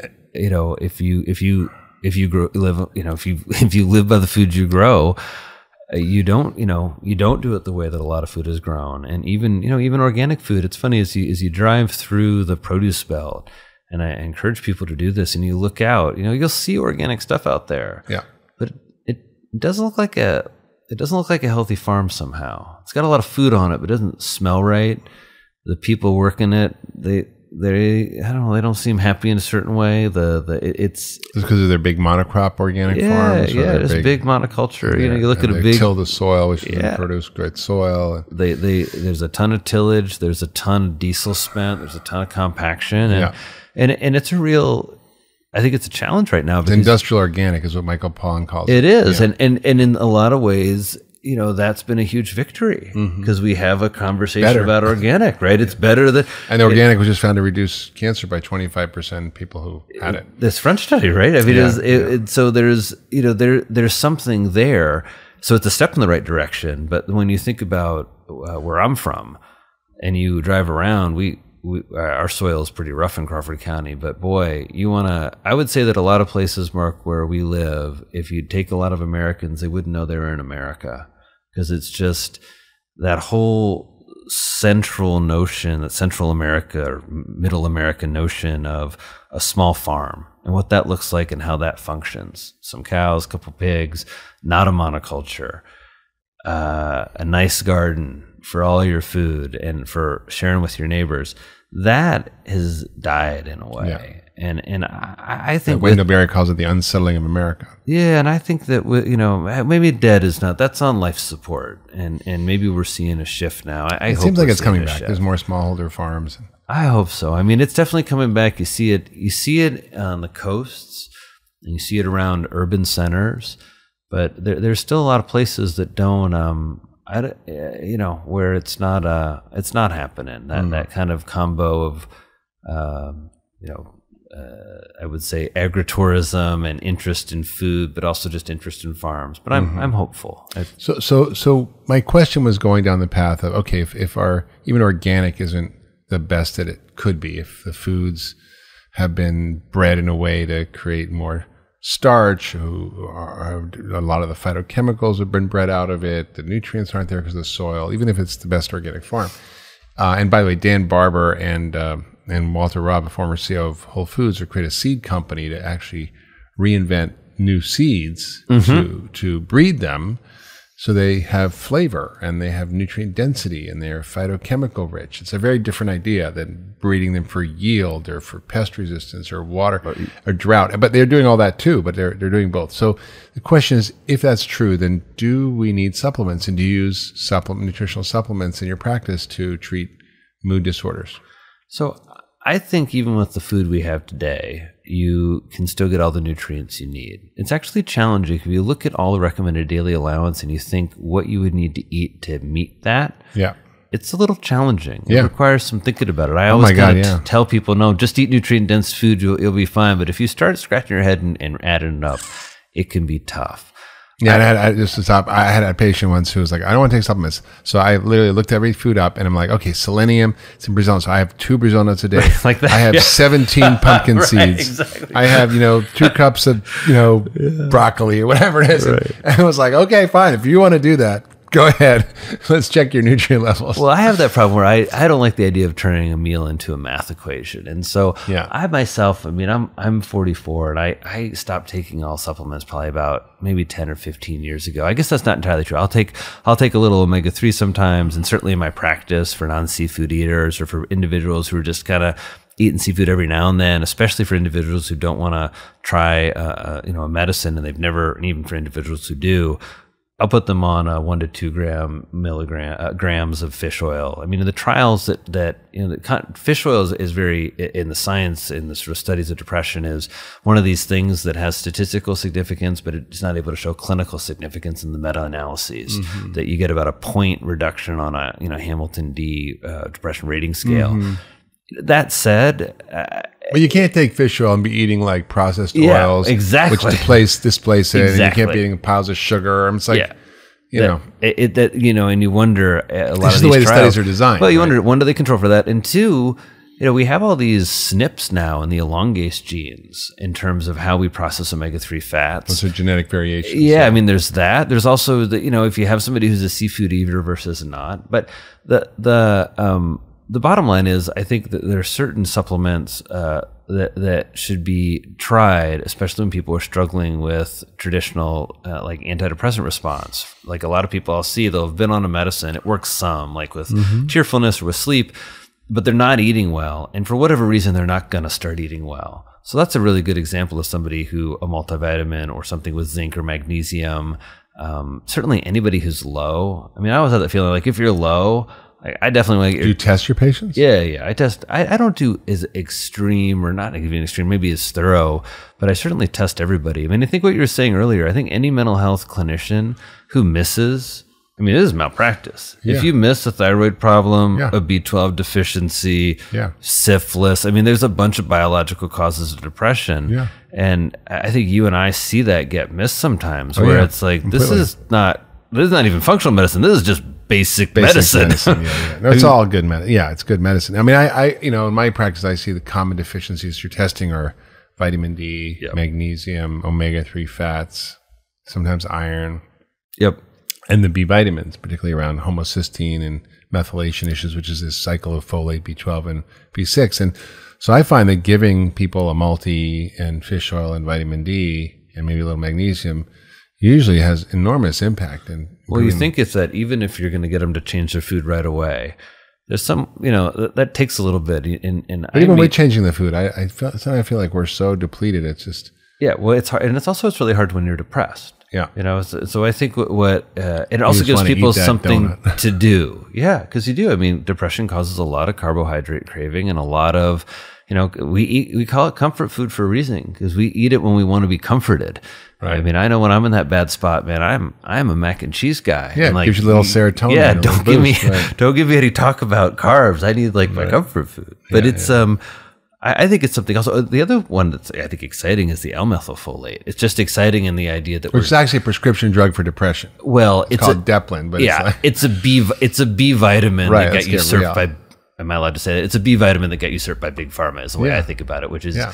you have L-methylfolate, which is folate that has a methyl group added onto it, and instead of that being five bucks, it's two hundred bucks. yeah, But but you can get it for five bucks. you can you can get it. f- But the idea that we're just now, because this is going to be the next frontier, Mark, as you know, which is we're going to start really getting into precision psychiatry. I mean, that's my most my favorite new center at Columbia is the Center for Precision Psychiatry. There is that. there's a center for precision psychiatry. There's a center for practice innovation. There's a center for women's mental health. I mean, we Amazing. th- there's there's going to be a, there's a new center for media and mental health that's coming online. And precision psychiatry is just that, which is there's no. I mean, one of the things I think is interesting is there's nobody that's more critical of psychiatry than our like than ourselves. Yeah. Because nobody sits with the like and sees the failure. well, nobody sits with it like you know in, in- until you sit with getting an antidepressant prescription wrong, and, and then getting it right, and knowing that somebody suffered because you didn't make the right choice. It, it, when you sit with that, you want to get it right more than anybody else, Yeah. because that's that's your job.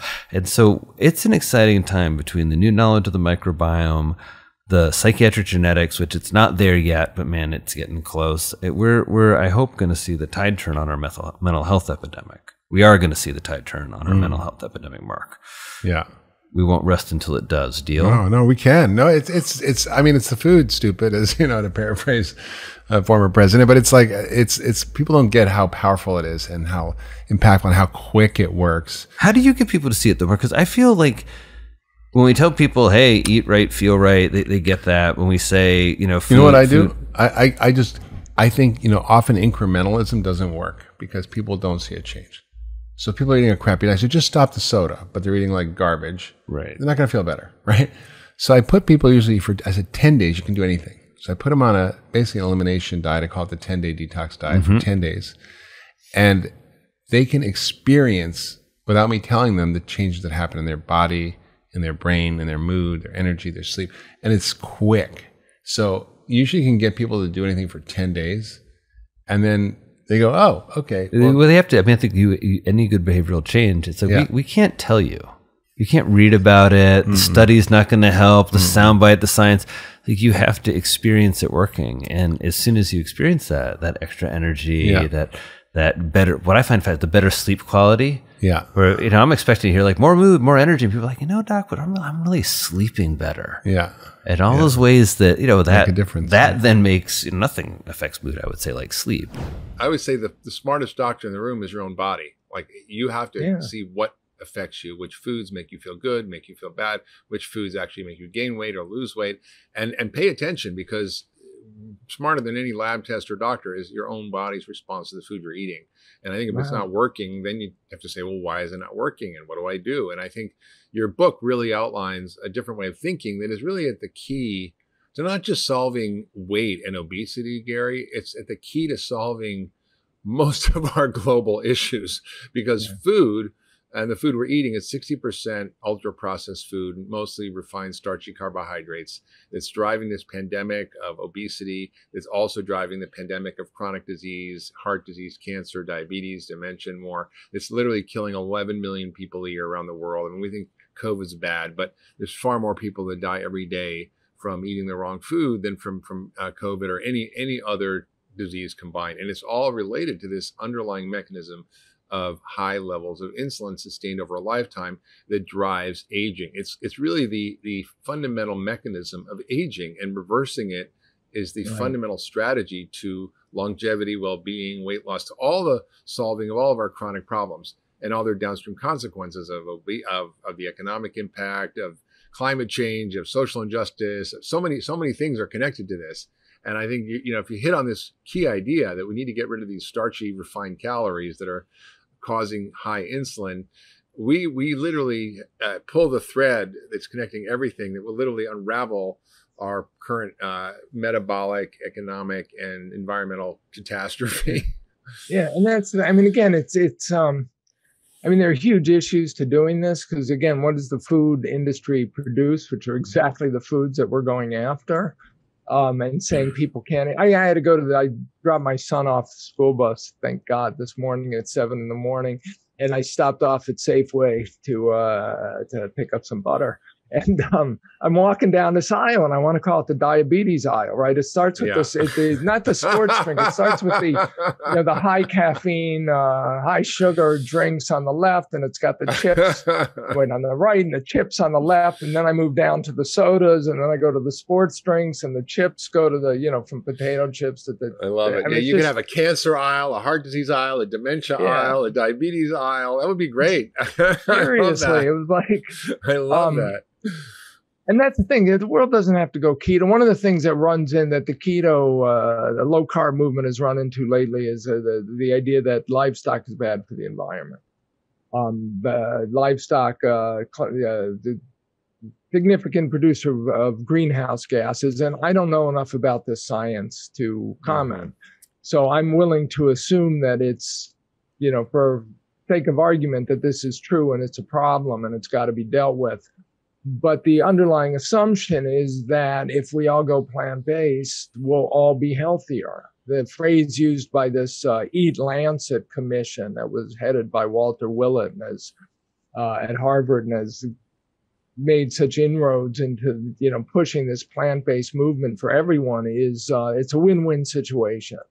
You know we know that if we eat plant-based diet we will be healthier. We know if we eat a plant-based diet the climate the world will be healthier. And the, again the point is we don't know that. Hmm you know the the lean people of the world they can eat a plant-based diet. They're fine. All of us can improve our diet and be healthier by getting rid of you know the refined sugar and the, the stuff in the diabetes aisle of the supermarket. Um, all of us will be healthier but some of us have to go further. We just have Yeah. to we have to cut out carbs and then plant-based foods come with carbs attached that's that's Yeah. the name with the It- it- exception it's of olives and avocados that's you Yeah. know And if anybody wants to Um, dig into the whole meat, no meat, uh, you know, climate change, uh, health, so forth issues, I, I, we've done a lot of podcasts on this. But the short answer is, it's not the cow, it's the how. Uh, and, and if you grow factory farmed animals, yes, they're a, a, an abomination. They should be outlawed, and they're devastating human health, environmental health, animal welfare, uh, and destroying our soils and polluting our waters and poisoning Right. us with chemicals. So that, that there's no doubt about that or disagreement. However, uh, there's a movement of regenerative agriculture which uh, has the hypothesis that you can actually raise animals in an integrated ecosystem of a farm that builds soil, that conserves water, that eliminates the need for chemicals, that produces healthier food, more food, more profitable for the farmers, and actually maybe uh, healthy. Uh, in fact, uh, some guys like Fred Provenza, I don't know if you've heard this research, uh, Gary, but Fred Provenza is a rangeland scientist from University of Utah or Utah State who's now working with folks at Duke and finding that that uh, animals that are allowed to forage on a wide variety of plant foods actually uptake all these phytochemicals and have much different nutrient profiles, much different metabolic profiles when you eat them. Uh, the one favorite study I always quote is the kangaroo study in Australia because you can get kangaroo meat there, and they fed them, you know, gram per gram protein, the same amount of feedlot beef for kangaroo meat, and uh, the feedlot group had increased inflammatory biomarkers and the kangaroo eaters uh, actually got better. They were healthier. They had lower inflammation as a result. And this is you know taking a chunk of meat exactly the same amount and feeding right them right right. based on where what they ate. So i think i think uh, that's a different topic but and i don't think a ketogenic diet is a high meat diet either. It's not necessarily a high meat diet it doesn't is- have to be. Yeah. It's And- yeah exactly. And I think some people can tolerate some level of whole grains or beans. Some people can't. And some, you know, and often the argument is, well, you know, uh, when I when I switched to vegan, I lost weight, I got healthy. And I think if you're eating the standard American diet, the absolute answer is yes. You will be much better off if you switch to a lot of plants and whole foods and get off all the crap. And it may not be the vegan diet; it may be just getting off the crap. And then the question is, long term, what happens to these people? And and if you start looking at a lot of these situations you see you see this increasing creeping insulin even if you're eating you know whole grains and beans some people are just that carbohydrate intolerant so i think Right. there's a continuum we have to understand and i think that's what you're saying with your book it's not just one size fits all everybody in the world should be keto because it's i don't think that's true you're talking about this spectrum of eating styles depending on your metabolic type and and your response to the food you're eating. Right, and that's it. So we're we're cutting carbs and we're we're adding fat at Mm. some level. And if you prefer animal protein and animal fat, and you can make it work. My favorite part of the book. So at the end of the book, I have um, lessons that I've learned from the physicians I've interviewed, and I think you know I sort of encapsulated the key lessons in how to think about progressing to a, a low carb, high fat ketogenic diet. And so, um, Carrie Diulus, I'm sure you know Carrie. It's she's Cleveland and formerly Mhm. Cleveland Clinic. So Carrie's a, uh, was a spine surgeon, formerly at the Cleveland Clinic, now private practice in, in Ohio, and she uh, comes from a family history of obesity. She had a weight problem. She said She she, was should weigh 300 pounds. She was 300 pounds. pounds. Yeah, and then she got also has type one diabetes, and she can't tolerate animal products. She just can't do it. Her body can't do it. So she has moved to eating a vegan ketogenic diet. And she said to me, and this is the quote that I lead off the section with it's not a religion, it's just about how I feel. Right. And that's a thing we're all doing. It's about how we feel. And that's, again, it's part of learning the learning process of learning how to do these experiments. I mean, you and I probably do it naturally. It's like some issue comes up in your life. My wife always gets, she's been living with this for far too long, but, um, you know, I'll make some comment about how I feel and I go, I can't understand it. And she says, You always said that. And I go, Well, what I can't understand is why I feel like this today. Yeah.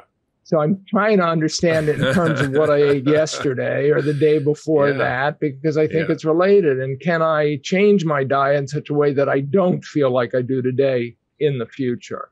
Mm. And what do I have to do? You know, and and, and over the course of you know, among the vices we talked about before we got started, all the vices we've given up. Part of the reason we've given up these vices is because they don't make us feel good. hmm You know, I no longer drink alcohol, not because I have any uh, moral, ethical issues with alcohol. Quite the contrary. It's just the next day I tend to feel like crying all day long. Oh, And, uh, I'll give you a yeah. hug. Don't worry. yeah, there we go. So, you know, a hangover you can fix with aspirin. Depression, you can't. yeah. So uh, eventually, uh, slowly over the years, it's become no, but because I'm paying attention Yeah. to how I feel the next day, and in my case, it's so it's it doesn't need a lot of attention to be paid to notice it. But th- these are the kind of things you can do with all issues of your diet. Well, You you're know, right. If I start adding beans back to my diet and I gain ten pounds, and I find that I'm craving beans, black beans doesn't matter, healthy beans, just like they might eat in the blue zone. But when I add mm-hmm. it back to my diet, I, I gain weight and I don't like the weight. And I don't like the fact that I'm now craving the beans. Maybe it's better than I mm-hmm. don't eat them. yeah. They're bad for me. They might be fine for David Katz or Mark Bittman, That's right. That's but they're right. not fine That's for right. me. That's right. And right. That's, we're all we're all we're different. trying. Yeah. Yeah, and I think I think we uh, we have this amazing opportunity now to start to teach people about personalized nutrition and and food as medicine. And I think one of the things that that people don't understand, and you you sort of highlight this with what you said. I think it's important for people to really get this. Most people don't connect what they eat with how they feel, Right. and and food is the single biggest modifier of your biology every day. There is Right. nothing that influences your biology in terms of hormones, the microbiome, your immune system, your detoxification system, your brain chemistry, your metabolism. I mean, there's nothing besides food that has that impact. And when you, when you, the underlying subtext of what you're saying, and, and that we talk about in functional medicine, is that food isn't just calories; it's information. It's instructions that regulate your hmm. biology with every bite, and can and can turn on or off hormones, genes, and and uh, immune function i- i- literally in minutes. And I I think most people, if they started to pay attention like you did, when I drink alcohol, I cry the next day, or when I eat a bagel, hmm, I don't feel good, or I take a nap. I mean, I, I went to visit some friends over um, on Maui, and, and I went to visit some friends on the other side of the island who are pretty much vegetarian, vegan, and they had lunch, and, and I, I'll eat anything. Like I'm not, Right. I'm not uh, religious, and I, I normally don't eat a lot of beans or grains. Uh, I don't have a thing against them. I just feel better without them. And and she had a big bowl of grains and beans for lunch. And then I, I literally that afternoon we went down to the, the ocean. There was this where this place, the river comes to the ocean. There's like really like rocky, rocky beach. And I literally was in a food coma. I literally laid down on my stomach it was like on a bed of nails, like on this really uncomfortable, like rocky thing with like rocks sticking everywhere in mm. my body. And I literally fell asleep with these rocks sticking in me because I was in this coma from what I had for lunch. Now that's not the true for everybody, but for me that was true. And I think it just I well, just this is think, you know part of my part of my conversion experience, right? Is I used to say back, you know, prior to 2000, I didn't take naps. Naps took me. So I'm a science journalist. I would be interviewing some Nobel Prize winner over the phone at two in the afternoon at lunch, and I would have to get off the phone before I fell asleep. I would have to think up some excuse. Um, I have I used to have notebooks back in the days when we would take notes on the notebooks, and then they would like I'd go back to look at them, and my my pen would just fall off the page because I'd have fallen asleep while I was taking notes. Um, yeah, I gave up carbs. That stopped. Actually, one of the things that triggered this is I was doing the first piece I ever did on dietary fat for science. I was interviewing a guy at Yale who's an authority on carbohydrate metabolism. And I said to him, Why is it I fall asleep every afternoon after lunch? mm-hmm, mm-hmm. You know, religiously. And uh, and he said, Well, we don't know. It's like, how could you not know that? I mean, it's it's such a profound phenomenon. There's whole cultures that have siestas in the afternoons because they have carb-rich uh, lunches, and and, wine, and then they, and wine. they they and wine, And and then they go to sleep. Anyway, and then you give up the carbs, it just stops happening. I often wonder, you know, we get a message nowadays we should all sleep eight hours a night. It's vitally important. We'll control our weight better if we do it. We'll control our blood sugar better if we do it. But one of the things that happened when I I cut out sugar, starches, and grains, I stop needing to sleep as much. I can get by on five, six hours of sleep, and I constantly have this struggle that I should be sleeping more. And yet, if Well, I may not sleep more, it. I'm actually less alert. So it's Yeah, sort of again individual variation and being aware of your body because we don't need a clinical trial and this is the point i make in the book we're taught well you don't know if these and again people we don't have enough clinical trials to know if this is good for you well you don't have we do have the 100 plus completed clinical trials of ketogenic diets and it's undeniably you know beneficial over the course of at least a couple of years and then it's hard to imagine that somehow it all goes bad the longer you Yeah. do but people who don't like this message can imagine anything so i'm not going to but you don't need a clinical trial to tell you if this will change your ability to control your weight and blood sugar Yeah. particularly I the weight it's just just do it Yeah. but do it right Well, that's the thing. I mean, I think how um, I'd love you to sort of share some of the clinical trials that have been recently done around diabetes because I think the data is so striking uh, that it, it's really worth talking about be- because we are now facing a, a pandemic of obesity and diabetes. In fact, one out of two Americans is pre-diabetic or type 2 diabetic. It's the number one driver of our uh, economic costs within Medicare, which is, you know, if, if Medicare was a company, it would be the biggest corporation in the world with a budget of over 1.3 trillion dollars a year, and it's it's a good third of that, and probably more if you include pre-diabetes. So, um, talk about what we've learned from these rigorous clinical trials using ketogenic diets on type 2 diabetics who are actually on insulin, on medications, severely overweight, and how it compares to sort of other trials and treatments for diabetes. Well, the story with diabetes has always been the same. Is it the carbs or is it the calories? Okay, this is the recurring theme going back to 1913. The um, so today you do a clinical trial. So the conventional wisdom, the ADA tells uh, their doctors just tell the patients to keep eating however many carbohydrates they're eating. We don't want to disturb them. We don't want to give them any advice they can't follow, and then we can cover that with insulin. And the insulins we have are so fancy and so exotic these days, so uh, high tech that that this won't be a problem. Except then when they look at um, uh, you know population wide uh, insulin control, you find out that it's actually worse than it's ever been. So both type one and type two diabetics are doing bad jobs at controlling their insulin, um, at controlling their uh, blood sugar. So now you put them on a, a ketogenic diet, and the best study we have is Virta, and it's criticized because it's not a randomized controlled trial, but you don't actually need a randomized controlled trial for a chronic degenerative condition that never gets better because people serve as their own controls.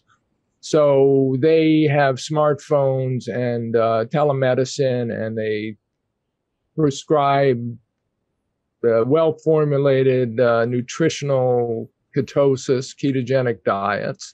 And uh, over the course of five years, they have, uh, I think their five year data is now available in abstract form. They have tremendous uh, maintenance of the diet, and uh, virtually all of the people are on insulin get off insulin, and they most of the people get off their oral medications, and they lose weight even when they're not trying to lose weight. This isn't prescribed as a weight loss diet, and they get healthier, and they sustain it because they're sustaining their health.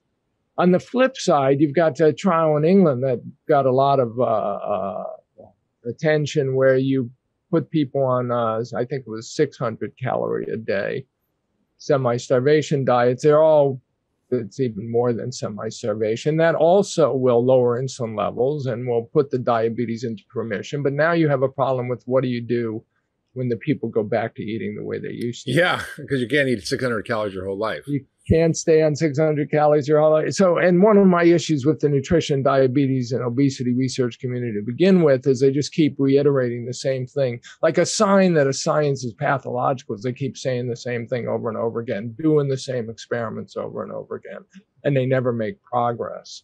And so, what we know from these trials is you you know you advocate abstinence from sugars grains and starches and and you know beans and people get healthy. They'll get off the, you know, the type 2 diabetes will go into remission. And they knew that pre insulin, as you said. It, the pre insulin was known as the animal diet. And uh, type 2 diabetics, we didn't use the, that terminology back then, but the physicians in the 19th century knew that, that older people got their diabetes older and heavier, had a more uh, uh, less acute chronic form of the disease and they could put it into remission and basically live uh, you know perfectly healthy lives so long as they didn't eat carbohydrates. Yeah. You know don't that, eat the foods that you can't tolerate. It's how yeah. difficult is that? And what struck me was the Virta trials which essentially is a as an online digital disruptive healthcare delivery system using coaches and high touch points with pretty advanced diabetics, uh, and and our friend Sarah Hallberg and others, and this is the, some of the data you're talking about, uh, were able to see within a year, or two years, a 60% reversal, not just not mm-hmm. just uh, improvement, but reversal of diabetes with normalization of glucose, lipids, A1C without medication, a 90 plus percent reduction in, in insulin, 100% elimination of some of the key diabetes medications, and, and a 12% weight loss, which may not sound like a lot to people, but if we see a 5% weight loss in a weight loss trial, that's dramatic. Uh, the results seem to be sustained at two and even longer now years. Mm-hmm. And uh, they did a follow up study looking at all the biomarkers around heart disease, which was fascinating. So the, the concern that people have is, oh my God, if I eat fat, what about my cholesterol? You know, cholesterol is causing heart disease. It's going to get bad. And can you talk about, uh, you know, how how you would address these these uh, concerns about eating a high fat diet and lipids and heart disease and what this trial showed? That that um, was the impact on lipid profiles.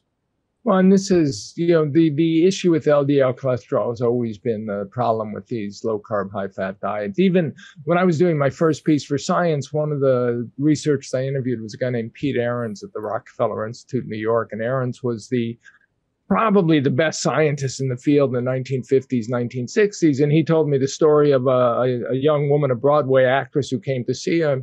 She had gone on Atkins to keep her weight under control, and you know her cholesterol went up to 600. Ugh. Right, you have to get her off the diet because the diet's going to kill her. That's the idea. So you, a lot of people we eat this high fat, high saturated fat diet. They're the, the phrase now thrown around in the community is that they're hyper responders and their LDL cholesterol goes up or their LDL particle number goes up. Yeah. The good news is it used to be that would happen. The doctor would, you know, say you're going to kill yourself. You can't eat this way anymore. Now, uh, an improvement, they'll say, well, look, since you've dropped 50 pounds and your A1C has come down from like 10 to 6, and we've gotten you off your medications, maybe you should continue to eat this way, but let's monitor the cholesterol or let's put you on some you know low dose statin to try and control right. the cholesterol and everyone feels differently about statins and i'm not going to i don't know what to think because i have friends i respect on all sides of this Um, for the most part, uh, the Virta's study showed us, and these are in people who really are metabolically disturbed and that they have type 2 diabetes. They Yeah. looked at 26 risk factors for heart disease. 26 of them, 22 of them improved on the Improved. nutritional Improved. ketosis. 22 got better. Three stayed the same. And LDL cholesterol occasionally got worse. And of course, you know, Sometimes it can get better too. Sometimes it can get better. And the cosmic joke, right, is that LDL is the only thing that conventional medical establishment cardiology community has paid attention to. But and then when they look at overall risk factor, you could do an overall risk factor assessment from these numbers, and it clearly got better. And that's with these people getting off drugs. So the comparison are, you know, diabetics who are getting standard of care diabetic therapy at Indiana. And so um, you know, I talk about in the book, I just talk about my own experience. My LDL was fine for about a decade on this diet. And then the last time it was measured, it, well, it got higher the one time it got measured, not just LDL cholesterol, but LDL particle number, which is a much better predictor of risk. Um, still not as good as HDL over triglycerides, which always improves on this diet, or total cholesterol over HDL, which always improves when you eat this way Yeah. but or almost always nothing's universal. Um, Well, it's you know, powerful. I, It's powerful It's- when you when you when you and again, it's really like I, I just recall a patient who I had who was a woman struggling with weight loss for years. Her total cholesterol was over 300. Her triglycerides were well over 300. Her HDL was Yeah. terrible, like 30 something. Uh, her blood sugar was high. Her insulin was high. She had small particle. I mean, she had the worst metabolic profile. And I said, listen, eat coconut oil and butter and get off of all the starch and let's see what happens. Just I don't know. Let's try it. Six months, six weeks, two months. There's no harm in a short term trial. And then I, you know, then I I measure, right? Trust but verify, right? As Reagan right, said. right, right, And then I checked her lab tests. Her cholesterol dropped 100 points. Her LDL dropped like almost that. Her HDL went up 25 points. Her triglycerides dropped 200 points. I was like, and she lost 20 pounds. Another guy was a, a skinny little biker who wanted to try keto for performance and Right. athleticism. Uh, and he, you know, he was in his 50s and he just, you know, was biking four hours a day and just doing all this. And his numbers just went through the roof. So it just, just LDL though, I assume. no, not the his uh, whole his particle number, his small particles. Yeah. I mean, everything Yeah, went yeah. haywire. And I noticed the same thing for me. I'm a, I'm one of those lean mass hyper responders. I probably shouldn't announce that because people will send me all kinds of hate mail or hate messages on social media. But you know, if if I uh, if I uh, you know don't eat a little bit of carbohydrate like a sweet potato or winter squash.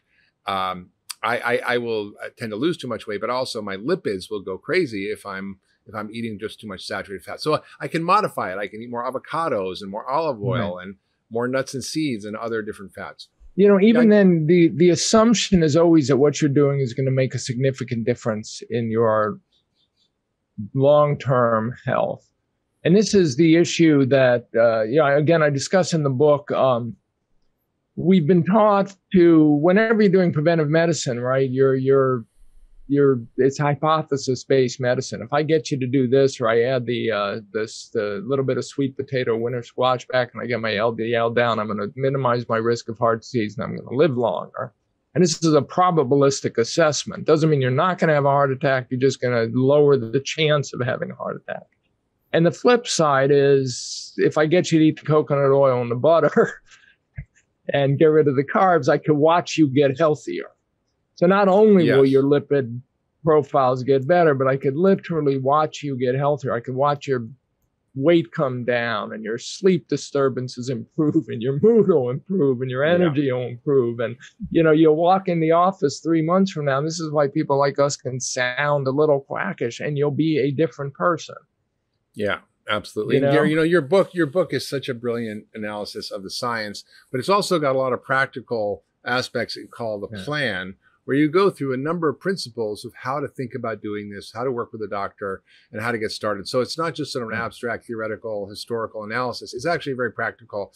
And I, I really encourage people to get a copy of The Case for Keto, Rethinking Weight Control, and the Science and Practice of Low Carb, high fat eating because uh, if you are one of those people who are metabolically unhealthy, the 88% of us, uh, it's now more important than ever to really get this right and get your insulin down because COVID 19 disproportionately affects those who have poor metabolic health, uh, including obesity, overweight, prediabetes, diabetes, and chronic disease, which is all connected to insulin. And um, Gary, what's exciting is you know, your book focuses on weight, but uh, keto is being researched for cancer, for improving, for example, responses to chemo and radiation, for obviously reversing diabetes, for heart disease, for dementia. It's it's now becoming a standard recommendation. I had well, a patient with was at Stanford, and they were like, "Yeah, i have got uh, Alzheimer's," and they told me to be on a keto diet or brain but, or, or epilepsy or other conditions this is what's so amazing because the conflict we're up against, you know, we've got US News and World Report. Every year they give their diet ratings. And every year they tell us the Mediterranean diet's the healthiest, and then the DASH diet, which is supposed to lower your blood pressure. And the they they'll look at 35, 40 diets, and the worst are always low carb, high fat, ketogenic diets. Always the least healthy around. And yet, if you go to clinicaltrials.gov, which is the website that the government has to register clinical trials, and just stick in ketogenic as a keyword. Yeah. You'll pull up, uh, as of last week, about 250 different trials. A hundred of them have been completed. The others are still in the works. And it's basically you name a medical condition. Somebody yeah. is testing a ketogenic diet somewhere in the world to see if that will make it better.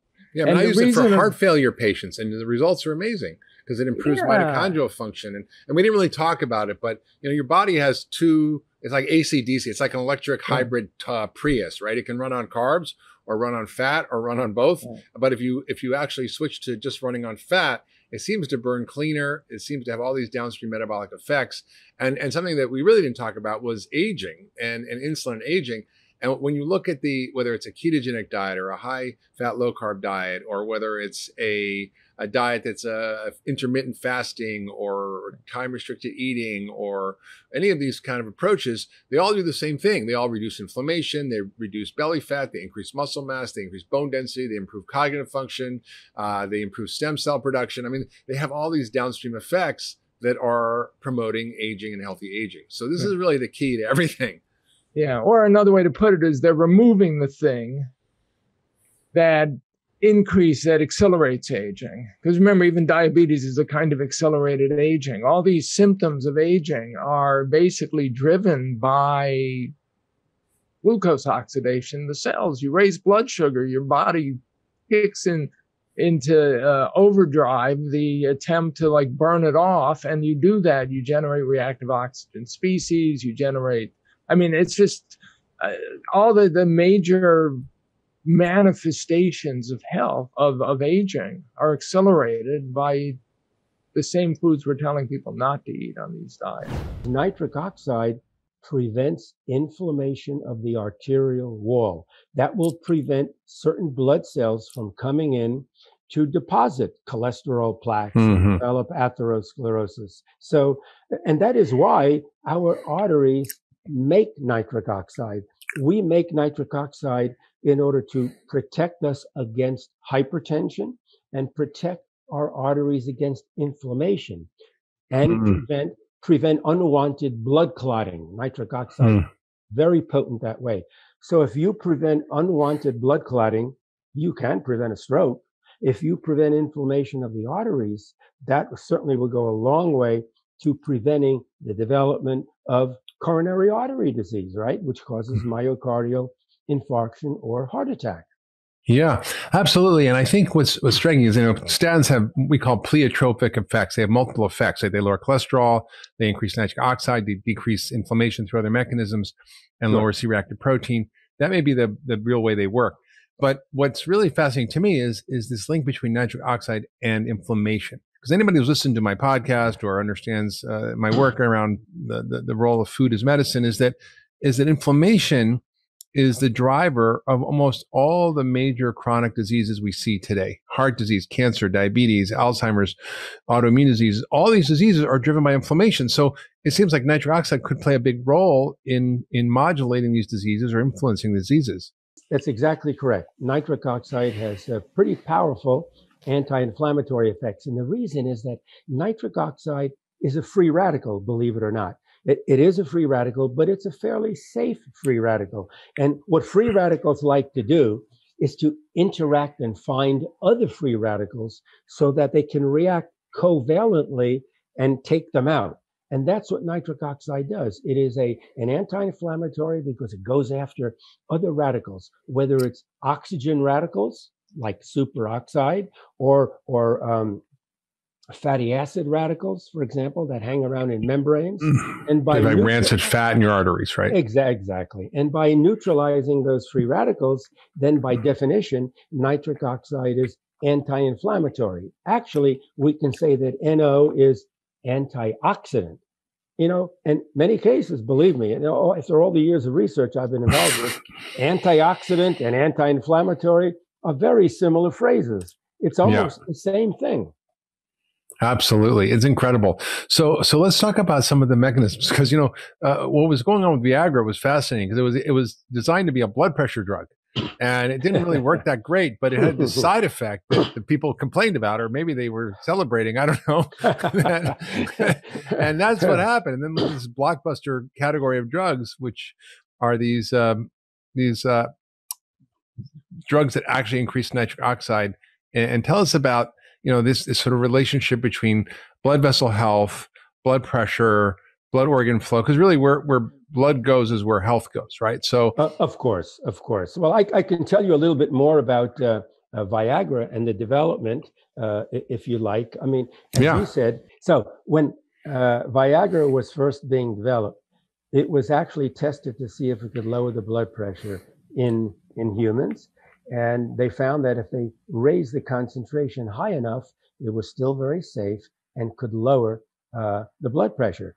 But unfortunately, or fortunately, depending upon how you look at it, a side effect was produced. And that is all the male volunteers who were in this study developed an erection, whether they wanted to or not. And uh, appropriately, this was uh, uh, this was noticed by the nurses who were running, who were running the study. And so I don't want to hear uh, about that. So I, I, was on I was on the advisory scientific advisory board for Pfizer uh, for a long time before, a while back. And so what happened was that Pfizer did not want to deal with this. They had no concept then that this could be a useful drug to treat erectile dysfunction. But because of the side effect, they said, listen, we're not going to mess with this.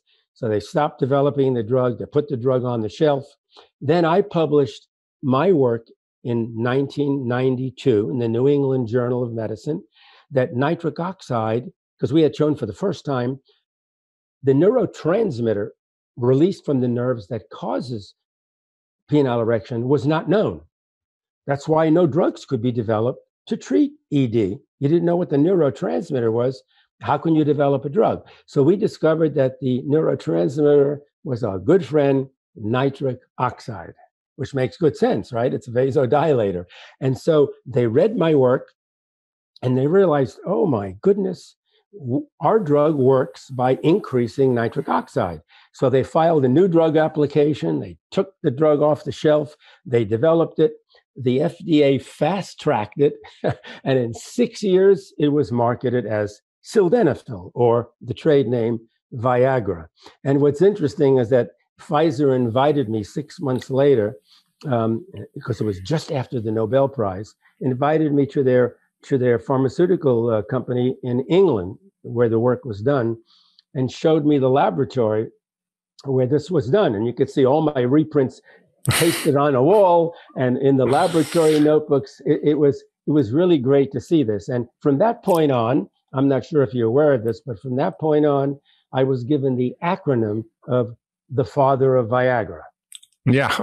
which, which, which is an acronym I don't mind at all, but my mother was alive at the time and she used to get mm-hmm. very upset whenever very she heard that. And she would tell me, why don't you tell them to stop that already? well, I imagine they probably didn't have trouble getting volunteers for that study. I bet. so, so that's incredible. So you call it a neurotransmitter, as as well as an antioxidant, anti-inflammatory. So it has all these different effects, right? It's really amazing. If when it's released from the nerves, it functions as a neurotransmitter uh, in in the uh, erectile tissue of men and women, by the way. But it's also a neurotransmitter in the brain, where it's released in certain areas of the brain that promote memory, learning, and information recall. Many scientists believe that dementia, especially Alzheimer's disease, may be attributed to a deficiency of nitric oxide neurotransmitter in the brain. And what I tell all my uh, young scientists, uh, when I was teaching, I would tell my graduate students that remember this the brain has 10 times more nitric oxide than does any other organ in the body, and we don't know why. So go after that problem. I mean, that's a good problem to go after. It's amazing. So let's just kind of review, and then I want to get into the question everybody's thinking about, which is how do I get more of this stuff in my system? so, so let's see. It, it, dilates your blood vessels and lowers your blood pressure and improves blood flow in your organs. It prevents clotting, you mentioned, and it yes. prevents blockage in the arteries. It's an anti-inflammatory, so it helps keep the healthy arteries. It promotes learning, memory, and information recall. It helps regulate erectile function in men and arousal in women, and other things, including affecting protecting your skin from uh, the sun and, and and and skin cancer. And you also mentioned in your work that it, it promotes um, digestion by helping the movement of digested foods and regulating digestive enzymes and hormones. So it's it's like incredible. It's an incredible molecule uh, that is doing all these things that no one even knew about until you came on the planet. Isn't that something? I mean, it took it took it took somebody to discover that nitric oxide, which had long been known to be a pollutant in the Earth's atmosphere, it took someone to show that our bodies could actually produce it. And once that was identified, everyone jumped on the bandwagon, and so many different people discovered so many different effects of NO. Effects. But what's miraculous is that one single molecule can exists ubiquitously throughout the body and produce all of these effects. And, you know, we've mentioned only half of them. So yeah. to me, as a scientist, I find that remarkable. But if you have a chemistry background, which I do, and you look at NO, it's perfectly suited for its job. Why, why have 25 different chemical molecules in the body, each doing something, when you can have one, nitric oxide? But it has to be regulated because you know you don't want to uh, increase blood flow to your legs uh, at the same time that you're creating a penile erection. You know, I mean, in, in one place it works, another place it doesn't. So it's highly regulated so that it's not working everywhere at the same time. It's incredible. So, how do you know if you're low in nitric oxide as a person walking around the street? Well, let me tell you something, sir. If I did not retire and I still had my laboratory, I would invite you to my laboratory to try to work out that problem because no, it's such a difficult problem. It's impossible to measure nitric oxide real time because it's an unstable gas. It has a half life of about two or three seconds. That's it. It, it wow. as soon as it's soon as it's made in the body, it works within a second or two and then it's gone. And that's what you want from a signaling molecule. You know, you don't want the molecule to hang around forever. You just want it to hang around just for a little bit. But luckily, we're continuously making nitric oxide. If we have healthy arteries, they are continuously making nitric oxide. Unfortunately, we can't measure it. We can measure byproducts. In other words, we can measure nitrite NO2 minus, and nitrate, NO3 minus, because NO is oxidized. That's how it's broken up. It's oxidized to nitrite and nitrate. So you can measure that.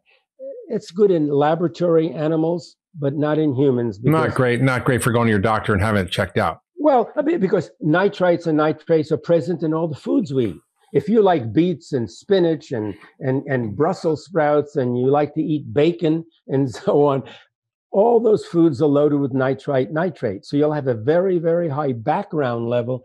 And although it's been attempted, you cannot measure changes in nitric oxide production that way. But symptomatically, there's ways people can know, right? I mean, sure. Oh, a- absolutely. Uh, well, so what would I be mean, the kind of symptoms people might have? what we have tied, we meaning the scientific community, not, not, not I, but anyone with hypertension that's been examined clinically using invasive methods to measure NO, it's been shown that NO production by the arterial endothelial cells is diminished. Okay. People who are obese have absolutely low levels of nitric oxide produced by endothelial cells. Sedentary mm. people who lead a sedentary lifestyle, the same. People have been subject, subjected to physical activity, just even minor physical activity, walking fast, riding a stationary bike. And there's ways to measure indirectly nitric oxide production. I can tell you about that in a second. And that NO goes up. And the way you measure NO indirectly is you put something like a blood pressure cuff on your finger, and, and, and it's, it's made tight. And then a, uh, the, the blood flow in your arm is stopped just for a, a few seconds. And then the, the, the tourniquet is released. That will cause blood flow uh, to go through the finger. And there's something called flow, blood flow dependent vasodilation. In other words, when you release that cuff and you allow the blood to flow through the hand, the blood flow, because it creates a force against the arteries, that's called shear stress, that stimulates the arteries to make enormous amounts of nitric oxide that's good because you want to dilate all the blood vessels there that have just been constricted. So NO is released to dilate the blood vessels and allow blood flow. That's that's what happens during exercise in all of your skeletal muscle, by the way. But you can measure that flow dependent vasodilation, and that's a pretty darn good measure of your capacity to make nitric oxide. So if you run that test, which is expensive, you usually have to go to a clinic uh, whatever, uh, for now anyway, uh, you can determine how much NO you can make. And what we know is that people who lead an unhealthy lifestyle, if I just leave it at that, make substantially less nitric oxide. That's been borne out every time. That's amazing. Hey, everybody, it's Dr. Hyman. Thanks for tuning into the Doctor's Pharmacy. I hope you're loving this podcast. It's one of my favorite things to do and introducing you all the experts that I know and I love and that I've learned so much from. And I want to tell you about something else I'm doing, which is called Mark's Picks. It's my weekly newsletter. And in it, I share my favorite stuff from foods to supplements to gadgets to tools to enhance your health. It's all the cool stuff that I use and that my team uses to optimize and enhance our health. And I'd love you to sign up for the weekly newsletter. I'll only send it to you once a week on Fridays. Nothing else, I promise. And all you have to do is go to drhyman.com forward slash picks to sign up. That's drhyman.com forward slash picks, P I C K S, and sign up for the newsletter. And I'll share with you my favorite stuff that I use to enhance my health and get healthier and better and live younger longer. Now, back to this week's episode. So, everybody's listening and probably wondering how do I boost my nitric oxide levels? And you talk in your work about a lot of things uh, nutraceuticals, diet, protein, exercise, uh, breathing, the microbiome, all these things. So I want to get into all this. So let's start with the conversation about diet and nutraceuticals okay. or okay. supplements and how they can affect uh, your nitric oxide production. Okay, so I'll, I'll make this as brief as I can. It's clear from the work so many people have done that a healthy, balanced diet is the best way to maintain your adequate production and action of nitric oxide. And what do I mean by healthy diet? Yeah. but you know, and you know all about that. My goodness, that's been your career and your pharmacy and everything else. I mean, we eat, have to eat healthy. What does healthy mean? Stay away from saturated fats. Look, I like a hamburger once in a while. Once every two months, I have a juicy, fatty hamburger. It's not going to kill me. It tastes good. I get it out of my system. But then I eat fish. Fish is my healthy protein. There are plant proteins, of course, that are healthy, but I stay away from uh, meats most of the time, even chicken. Hmm. I mean, chicken's okay, but as soon as you start eating the skin of the chicken, forget it. That's loaded with saturated fat. So I like eating fish for my healthy protein. And you do have to have, you know, healthy protein. But like many diets out there, which I, I don't want to talk about unless you do, I do not lower my carbs. Uh, I'm a firm believer that you really sh- that 30% of your diet, you know, should be carbs, but healthy carbs, not potato chips, not packaged food. What do you None mean by healthy carbs? Oh, I mean the most colorful fruits and vegetables you can eat. Yes. The most powerful antioxidants. Remember, antioxidants can increase nitric oxide. Why? Because the antioxidants destroy the free radicals that go after nitric oxide to destroy the nitric oxide. So antioxidants will boost nitric oxide simply by stabilizing the molecule. We've done a lot of work on that, but most of it's been done by everybody else. But the darker the fruit, for example, the better the antioxidant. Pomegranate juice. Everybody knows pomegranate. If you ever get it on a white shirt, you can never get the stain off. That is a dark fruit. Same thing with blueberries, strawberries, any kind of berry. Let's go to the plant family. Spinach. Popeye knew all about nitric oxide before anybody else did. I mean, spinach is very healthy. Uh, uh, kale, my goodness, kale, Brussels sprouts, uh, the dark green, you know, leafy vegetables. Uh, my wife and I have that every single day.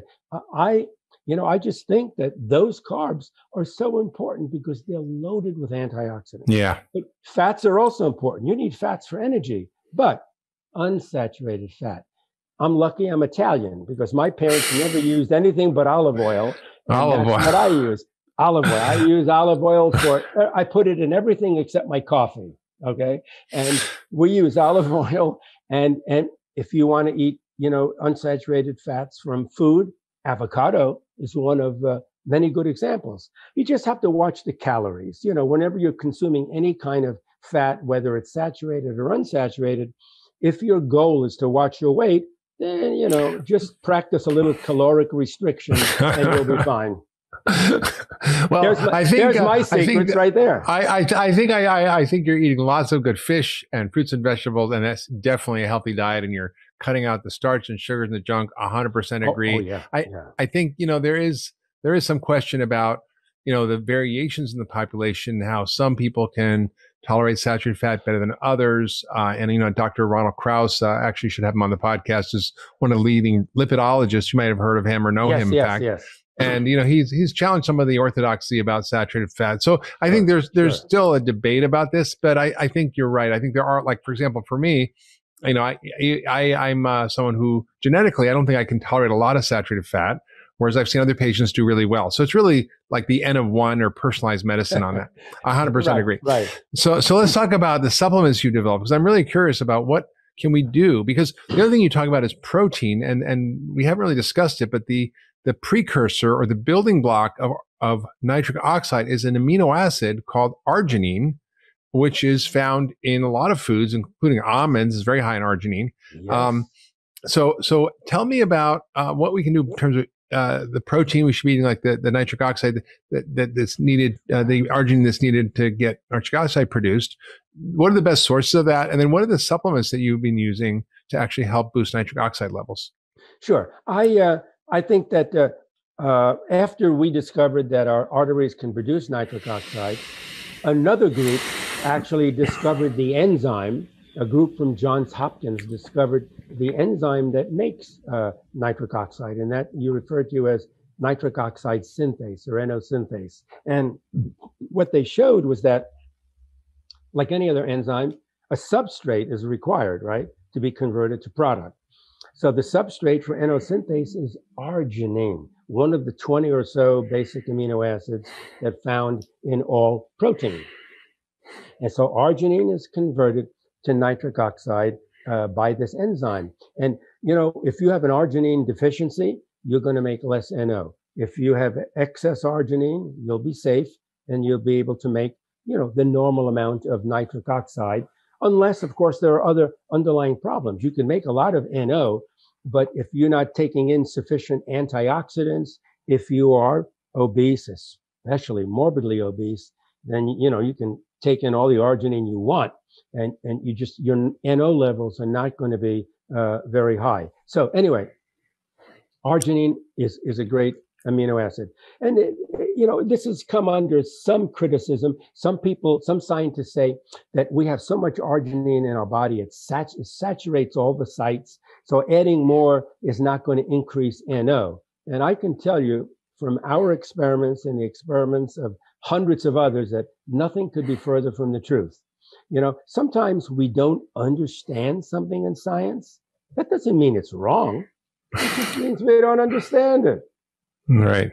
So we will make more nitric oxide if you take in more arginine. That's been shown in in in, in mice and rabbits with atherosclerosis. It's been shown in humans. A lot of great studies conducted in in Germany. So it's good to to consume arginine. Various ways you can do it. The richest source of arginine on a weight basis is, as you said, um, almonds. Actually, walnuts are good too. All nuts have arginine. Uh, uh, uh, almonds the most. Uh, there's a problem there because if you eat a cup of almonds, you'll make huge amounts of NO and you'll wind up with a 50 inch waistline in no time. I mean, it's extremely caloric. But if you eat fish, all protein has arginine. There's a lot of Mhm, arginine mhm. in protein. So you can, that's why I always say, uh, Mark, a healthy, balanced diet. You know, Yeah. don't, don't overdo this and overdo that and, and, and eliminate this. You know, Yeah, we're yeah. not, human beings were not designed for that. You know, No, but the diet we're eating is very different than your grandparents ate in Italy 100 years ago, right? for sure, for sure. Well, what they ate was good because uh, you know my father, my father smoked Camel cigarettes unfiltered for 70 years. He died at 96 years old without oh, a cough. geez. Without a cough. Wow. Well, you know, that's good genetics right there. I- That's- my mom, same thing. My mom was overweight. She didn't smoke, but she was overweight. She loved her cooking. You know, she died at 91. So I'm blessed. I probably don't even have to take care of myself and I'll live well. I'll be 80 years That's a- old in a few months. So, and, and I, and I feel That's good. good.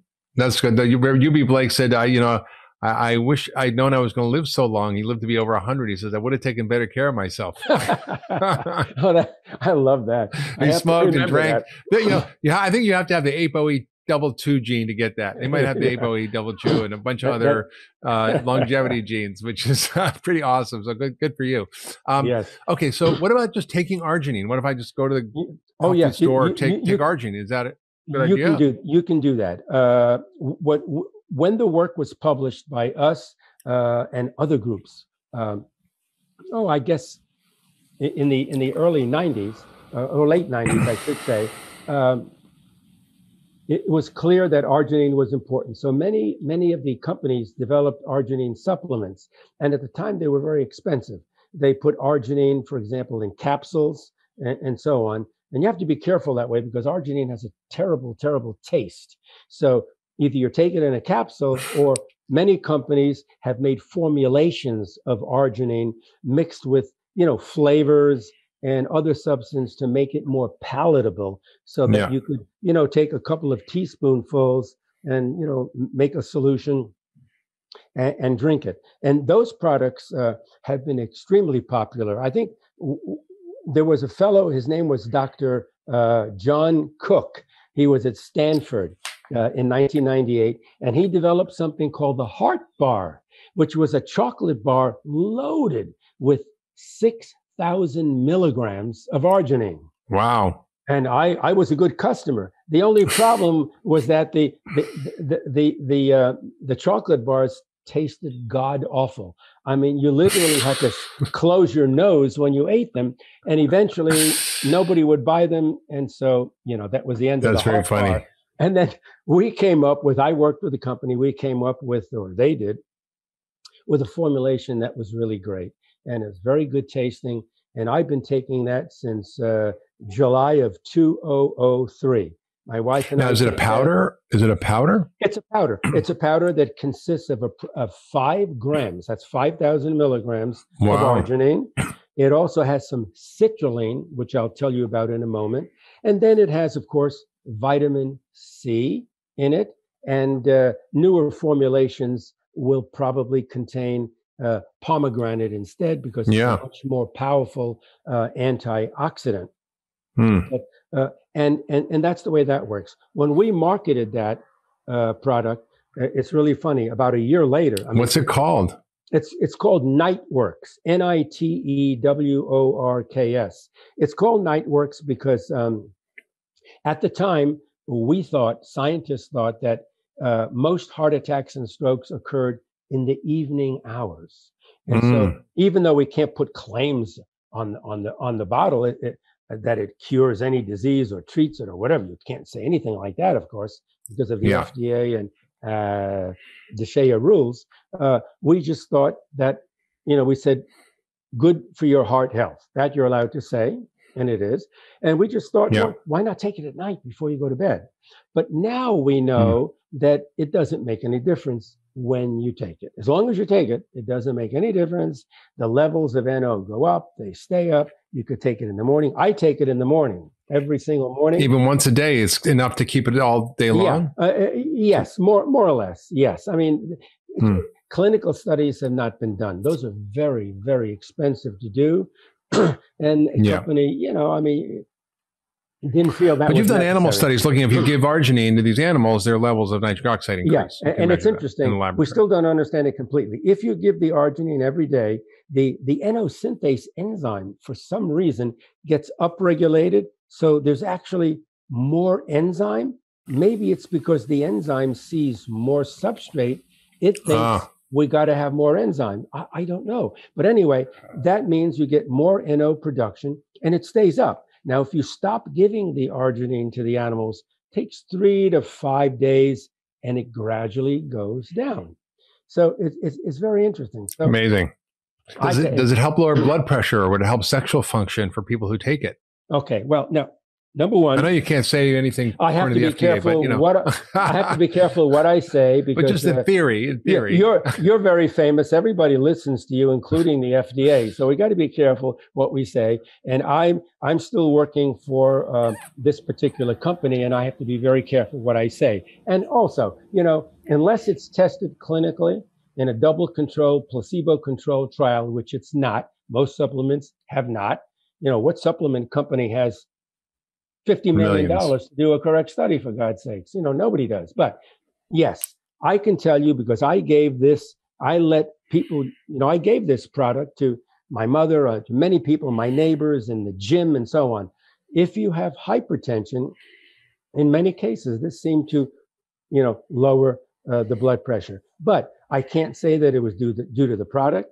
Could be a placebo effect. You know, we, we have no evidence that this product in humans, you know, will lower the blood pressure. But the way I look at it is this: I look at the science. I'm a scientist. Okay, I look at the science. This is a perfectly safe product. It makes all the sense in the world that if you give arginine, you're going to make more nitric oxide. Everyone knows that nitric oxide lowers the blood pressure.